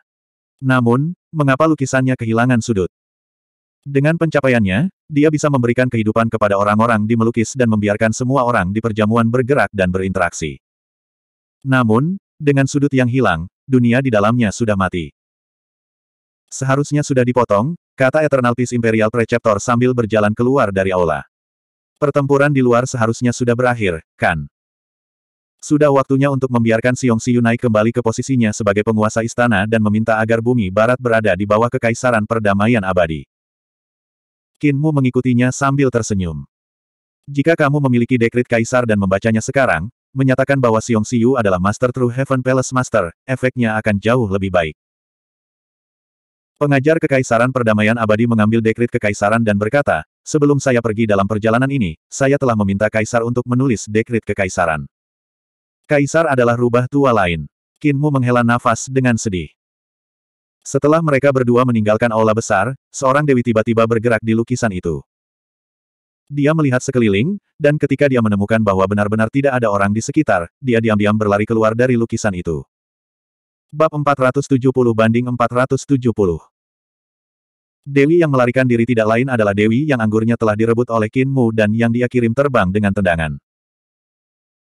Dia berlari ke sudut dinding, melewati layar, dan keluar berjalan seorang wanita yang tampak sangat berbeda dari sebelumnya. Dia mengenakan aksesori perak melingkar di kepalanya dan gaun hitam pendek sementara sepatu hitam, hak tinggi, dan runcing menghiasi kakinya. Pakaiannya seperti wanita biasa di bumi barat. Sangat dekat. Bentuk sejatiku hampir diusir oleh orang yang ditinggalkan itu. Namun, saya masih memberikan permainan itu. Semua dewa dan setan hanya bisa mengucapkan kata-kata sederhana seperti membunuh atau makhluk jahat sementara aku mengucapkan kalimat lengkap. Wanita itu dengan cepat bergegas keluar dari aula utama True Heaven Palace. Sinar matahari menyinari wajahnya yang cantik, dan dia menundukkan kepalanya sambil berpikir pada dirinya sendiri, mereka berdua mungkin belum menyadarinya, tetapi jika mereka berpikir kembali, mereka pasti akan menemukannya. Saya harus segera pergi, atau saya harus mendapatkan empat manik-manik roh pertama. Langkah kakinya ringan dan cepat. Di depannya adalah Kinmu dan Eternal Peace Imperial Preceptor, jadi dia melambat. Dia bertindak normal dan tersenyum pada mereka seolah-olah dia adalah murid wanita biasa dari True Heaven Palace. Sampah. Tiba-tiba, Wajah Kinmu berubah sedikit, dan tinjunya menamparkan telapak tangannya saat dia berteriak, aku tahu di mana ibu tua surga sejati bersembunyi. Eternal Peace Imperial Preceptor juga sangat pintar dan langsung memikirkan inti masalahnya. Benar, di foto yang hilang sudut. Dengi yang membawa anggur itu. Dia berbalik dan berlari kembali ke ruang utama. Dia dengan cepat berkata, kami membunuh Kaisar Surgawi di lukisan itu, tetapi bahkan ia tidak mengatakan kalimat lengkap. Hanya Dewi itu saja yang melakukannya. Dia, bagaimanapun, segera berjalan keluar dari aula sambil menggelengkan kepalanya. Dewi yang membawa anggur tidak lagi ada dalam lukisan itu. Kinmu menyalin nada Dewi ketika dia mengatakan kata-kata selanjutnya. Dari mana bocah ini berasal? Ini adalah anggur suci untuk para dewa tinggi, jadi bagaimana Anda bisa menyentuhnya? Kalimat ini terlalu rumit untuk orang-orang di lukisan itu. Pelukisnya belum mencapai keterampilan seperti itu, jadi satu-satunya dewi yang bisa berbicara adalah ibu tua surga sejati. Betapa jahatnya dia, hingga bersembunyi di lukisan itu. Aku meremehkannya. Seorang wanita datang ke sisi dua orang dan menyapa Kinmu, Cult Master Kin. Tatapan Kinmu berkedip, tapi dia tersenyum padanya. Kenapa kakak tidak menyapa Imperial Preceptor? Pengajar kerajaan. Aku belum pernah melihatnya sebelumnya. Apakah dia praktisi kuat yang membunuh Bagou? Ekspresi gadis itu penuh dengan kegembiraan, dan dia buru-buru menyambut Eternal Peace Imperial Preceptor. Dia menatap tajam ke matanya dengan perasaan lembut. Eternal Peace Imperial Preceptor menggelengkan kepalanya. Bukan dia. Setelah saya datang ke bumi barat, saya tidak benar-benar menunjukkan diri saya sehingga sebagian besar wanita di bumi barat tidak mengenali saya. Namun, saya membunuh tubuh palsu ibu surgawi sejati, jadi dia akan mengenali saya. Kinmu mengangguk dan berkata kepada wanita itu, sudahkah Anda benih orang berjalan keluar dari aula itu? Wanita itu menggelengkan kepalanya. Aku pergi dengan Chief untuk merebut Vermilion Bird Bed dan lewat di sini, tapi aku tidak melihat siapa pun. Kinmu bergumam pada dirinya sendiri saat dia melambaikan tangan padanya. Wanita itu memandangi Imperial Preceptor, lalu menundukkan kepalanya untuk berjalan di dekat mereka. Tapi Kinmu tiba-tiba menarik lengan bajunya, dan kulit kepala True Heaven Old Mother merangkak. Dia hampir tidak bisa menahan diri untuk tidak menyerang. Kinmu tersenyum padanya. Bagaimana saya memanggil saudari ini? Dari keluarga mana Anda berasal? Siapa kepala Anda? Surga sejati wajah bunda tua berubah, dan dia berlutut di lantai sambil menggigil. Dia bersujud dan berkata, saya seorang murid dari True Heaven Palace, Cult Master, tolong jangan bunuh saya. Jika saya dikenali, hidup saya akan hilang. Cult Master, tolong maafkan saya. Kinmu menghela napas lega dan berkata kepada Eternal Peace Imperial Preceptor. Aku benar-benar mengira dia adalah ibu tua surga sejati. Bagaimanapun, dia seorang dewa, jadi bagaimana dia akan berlutut dan memohon manusia. Dia memang seorang murid istana surga sejati yang mencoba melarikan diri dengan hidupnya. Preceptor Imperial Perdamaian Abadi melambaikan tangannya dan berkata, kamu harus berurusan dengannya. Kinmu membantu ibu surgawi sejati naik dan berkata dengan ekspresi yang menyenangkan, kakak, jangan takut, tidak perlu mendengarkan yang lain. Mereka memanggil saya Tuan Kultus Setan Surgawi, tetapi itu hanya kata-kata. Saya sebenarnya kurang dalam kepercayaan diri sehingga saya menyebut diri saya guru kultus iblis surgawi untuk menakut-nakuti orang sejak saya datang ke sini sendirian, tetapi saya sebenarnya guru kultus surgawi. Kultus kami adalah yang paling baik dan tidak akan pernah menyakiti orang-orang. Saya juga orang yang sangat baik. Lihat, Imperial Preceptor bahkan satu dari empat Raja Surgawi Agung Surgawi Sein saya. Itu benar, siapa namamu? Surga sejati Tuan Tua agak tidak percaya. Namaku Tian Xiu. Kamu benar-benar tidak akan menyerahkan aku. Eternal Peace Imperial Preceptor sepertinya telah mengingat sesuatu. Aku akan mengumumkan dekrit itu jadi aku tidak punya waktu untuk tinggal di sini. Kinmu mengikuti Eternal Peace Imperial Preceptor sambil memegang tangan True Heaven Old Mother. Aku ingin menemukan seseorang, seorang pemuda bernama Pangong So dan Grandmaster. Dia adalah kepala Istana Emas Roland dan pernah datang ke Istana Surga Sejatimu. Pernahkah Sister Siyu melihatnya sebelumnya? Surga sejati bunda tua ditarik olehnya karena setiap kali dia melihat pada Eternal Peace Imperial Preceptor, dia tidak berani berjuang. Aku pernah melihatnya sebelumnya. Aku hanya tahu bahwa dia dipanggil Grandmaster dan adalah teman baik penatua Yu Chan. Namun, dia tidak lagi di istana. Ketika dia melihat Cult Master Qin menyerang True Heaven Palace, dia berlari. Seperti yang diharapkan dari Grandmaster. Qinmu menghela nafas, lalu tersenyum sekali lagi. Saudari Siyu, ikuti di sampingku agar kamu tidak diintimidasi. Itu benar, pelacakan bumi baratmu tidak tertandingi di dunia. Seni surgawi Sister Siyu harus luar biasa sehingga kamu harus memiliki metode untuk melacak Pangong So, kan? Saya akan melindungi Anda dari bahaya dan Anda akan membantu saya melacak Pamong So, bagaimana bunyinya? Surga sejati ibu tua sangat senang. Baiklah, setuju. Kinmu tertawa dan berkata, mengapa saya berbohong kepada Anda? Deal, Imperial Preceptor, baca dekrit kekaisaran dan ikut dengan saya untuk mengejar Pamong So. Baiklah. Aku juga ingin tahu siapa dewa di belakang Grandmaster dan di mana dia bersembunyi, kata pengajar kekaisaran perdamaian abadi dengan acuh tak acuh. Ekspresi ibu tua surga sejati sedikit berubah. Dia berpikir bahwa Kinmu akan pergi hanya dengannya untuk mengejar Pamong So. Ketika mereka berdua sendirian, akan mudah baginya untuk membunuh bangsawan ini di antara orang-orang yang ditinggalkan. Tapi bocah itu sebenarnya mengundang Eternal Peace Imperial Preceptor. Dengan dia di sekitar, ibu tua surga sejati dalam bahaya.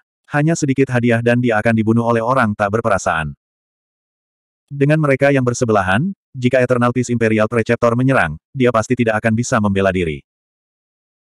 Tapi pengajar Imperial Perdamaian Abadi yang mengikuti juga baik, karena itu memberiku lebih banyak peluang untuk menyingkirkannya. Tapi aku butuh empat arwah. Begitu saya mendapatkannya, kesulitan untuk menyingkirkan Imperial Preceptor akan sangat berkurang. Keluarga-keluarga berpengaruh di bumi barat akhirnya menenangkan True Heaven Palace dan membantai serta menangkap semua pakar keluarga Yu. Klan memilih Xiong Xiu sebagai penguasa istana dan Nai Kui sekali lagi. Dia memegang tangan Xiong Qier dan menerima penyembahan setiap orang. Eternal Peace Imperial Preceptor membacakan dekrit Kaisar-Kaisar Yan Feng, dan Xiong Xiu segera menerimanya. Sementara itu, Qin Mu menarik Xiong Qier dan meminta manik naga hijau dan manik kura-kura hitam agar mereka bisa bermain dengan mereka. Surga sejati ibu tua memandang dua harta roh di tangannya dan berjuang melawan keinginan untuk merebutnya. Kedua anak itu tidak mendengarkan keputusan itu. Sebaliknya, mereka bermain dengan manik-manik, menjentikan dua harta roh di sana-sini, yang membuat Siong Kier terkikik tanpa henti. Surga sejati amarah ibu tua berkobar, tetapi dia hanya berbalik dan pura-pura tidak melihat sehingga kejengkelannya tidak akan tumbuh. Tiba-tiba, Kinmu memasukkan manik-manik naga hijau ke tangannya sambil tersenyum. Kakak Siu, bermainlah dengan Kier sebentar. True Heaven Old Mother memegang Green Dragon Bat sambil melihat Kinmu yang tersenyum dengan linglung. Dia sama sekali tidak tahu apa yang dipikirkan pemuda itu. Green Dragon Bat ada di tanganku sekarang dan itu bisa meledak dengan kekuatan terkuat. Jika saya bertindak sekarang, semua orang di True Heaven Palace akan dibekukan dan dihina. Tatapannya melotot, tetapi tepat ketika dia ingin bergerak, dia melihat pakaian Eternal Peace Imperial Preceptor bergerak tanpa angin, dan dia tidak bisa menahan perasaan takut. Bocah ini dan pengajar Imperial Perdamaian Abadi adalah rubah tua, mereka menguji saya. True Heaven Old Mother merasakan hawa dingin merambat di tulang punggungnya, lalu duduk dengan patuh bermain manik-manik dengan Siong Kier. Dalam sedikit, Eternal Peace Imperial Preceptor selesai membaca dekrit kekaisaran Kaisar Yan Feng dan Qin Mu meminta Green Dragon Bat kembali untuk memasukkannya ke tangan Siong Kier. Setelah memimpin semua orang untuk menerima dekrit, Siong Siu memanggil Siong Kier. Dia mengambil dua manik-manik roh dan membungkuk. Aku bersedia menawarkan dua manik-manik roh ini kepada Yang Mulia dan tidak pernah mengkhianatinya. Ekspresi Hei Yi, Mu Yingsui, dan yang lainnya sedikit berubah. Siong Siu tahu bahwa akan sulit baginya untuk memerintah bumi barat dan bahkan dua dari empat manik-manik roh telah direnggut, jadi dia hanya memberikan sisanya kepada Kaisar Yan Feng. Itu adalah metode sederhana untuk menahan metode semua keluarga besar. Eternal Peace Imperial Preceptor hanya mengambil manik kura-kura hitam.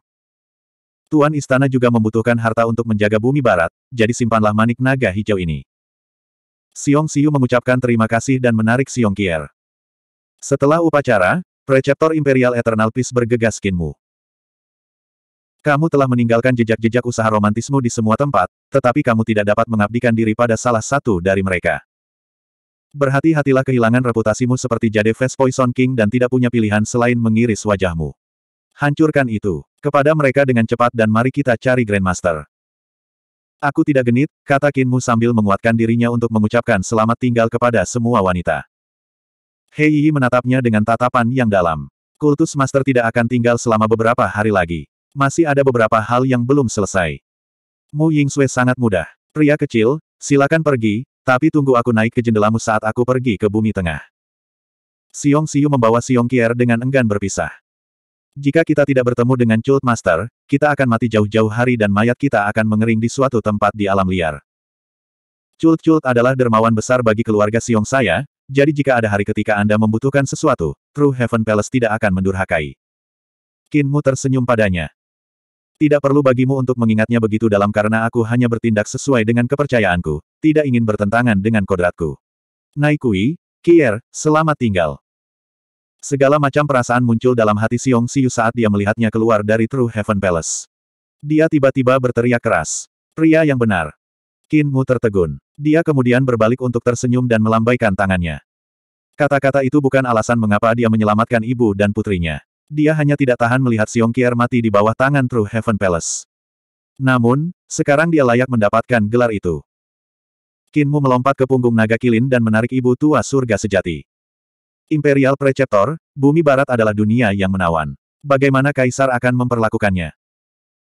Eternal Peace Imperial Preceptor perlahan-lahan berjalan di udara sambil berkata dengan tenang, dia akan memperlakukan mereka bagaimana dia memperlakukanmu. Dia memiliki pikiran yang luas ini. Aku sudah mengklarifikasi dengan Kaisar bahwa aku ingin menaklukkan bumi barat, tetapi tidak dengan paksa. Alasan mengapa saya tidak mengerahkan pasukan adalah karena saya takut hal itu akan menghancurkan perdamaian di sini. Para wanita di sini sangat cantik, dan aku tidak ingin insiden seperti pemerkosaan atau penjarahan terjadi. Itulah sebabnya aku berkata kepada Kaisar bahwa aku tidak akan membawa sejuta tentara. Aku merekomendasikan seorang pria yang setara dengan sejuta tuan dan pria ini. Dia menoleh ke belakang untuk melihat Kinmu sambil tersenyum. Apakah kamu? Di bawah matahari, hanya Cult Master Qin yang bisa menyapu bumi barat sendirian. Kinmu sedikit terkejut, lalu menertawakannya. Imperial Preceptor menyanjungku. Kakak Siu, bukankah begitu? Surga sejati ibu tua tersenyum di wajahnya, tetapi dia tidak mengatakan sepatah kata pun. Kinmu memasukkan manik-manik kura-kura hitam ke tangannya. Suster Siu, jalankan mantranya. Ayo cepat temukan Pangong So, bocah itu. True Heaven Old Mother mencengkeram manik-manik kura-kura hitam dengan erat, lalu melirik Eternal Peace Imperial Preceptor. Pria parubaya itu memegang tangan di belakang punggungnya sambil memegangi rahasia pedang.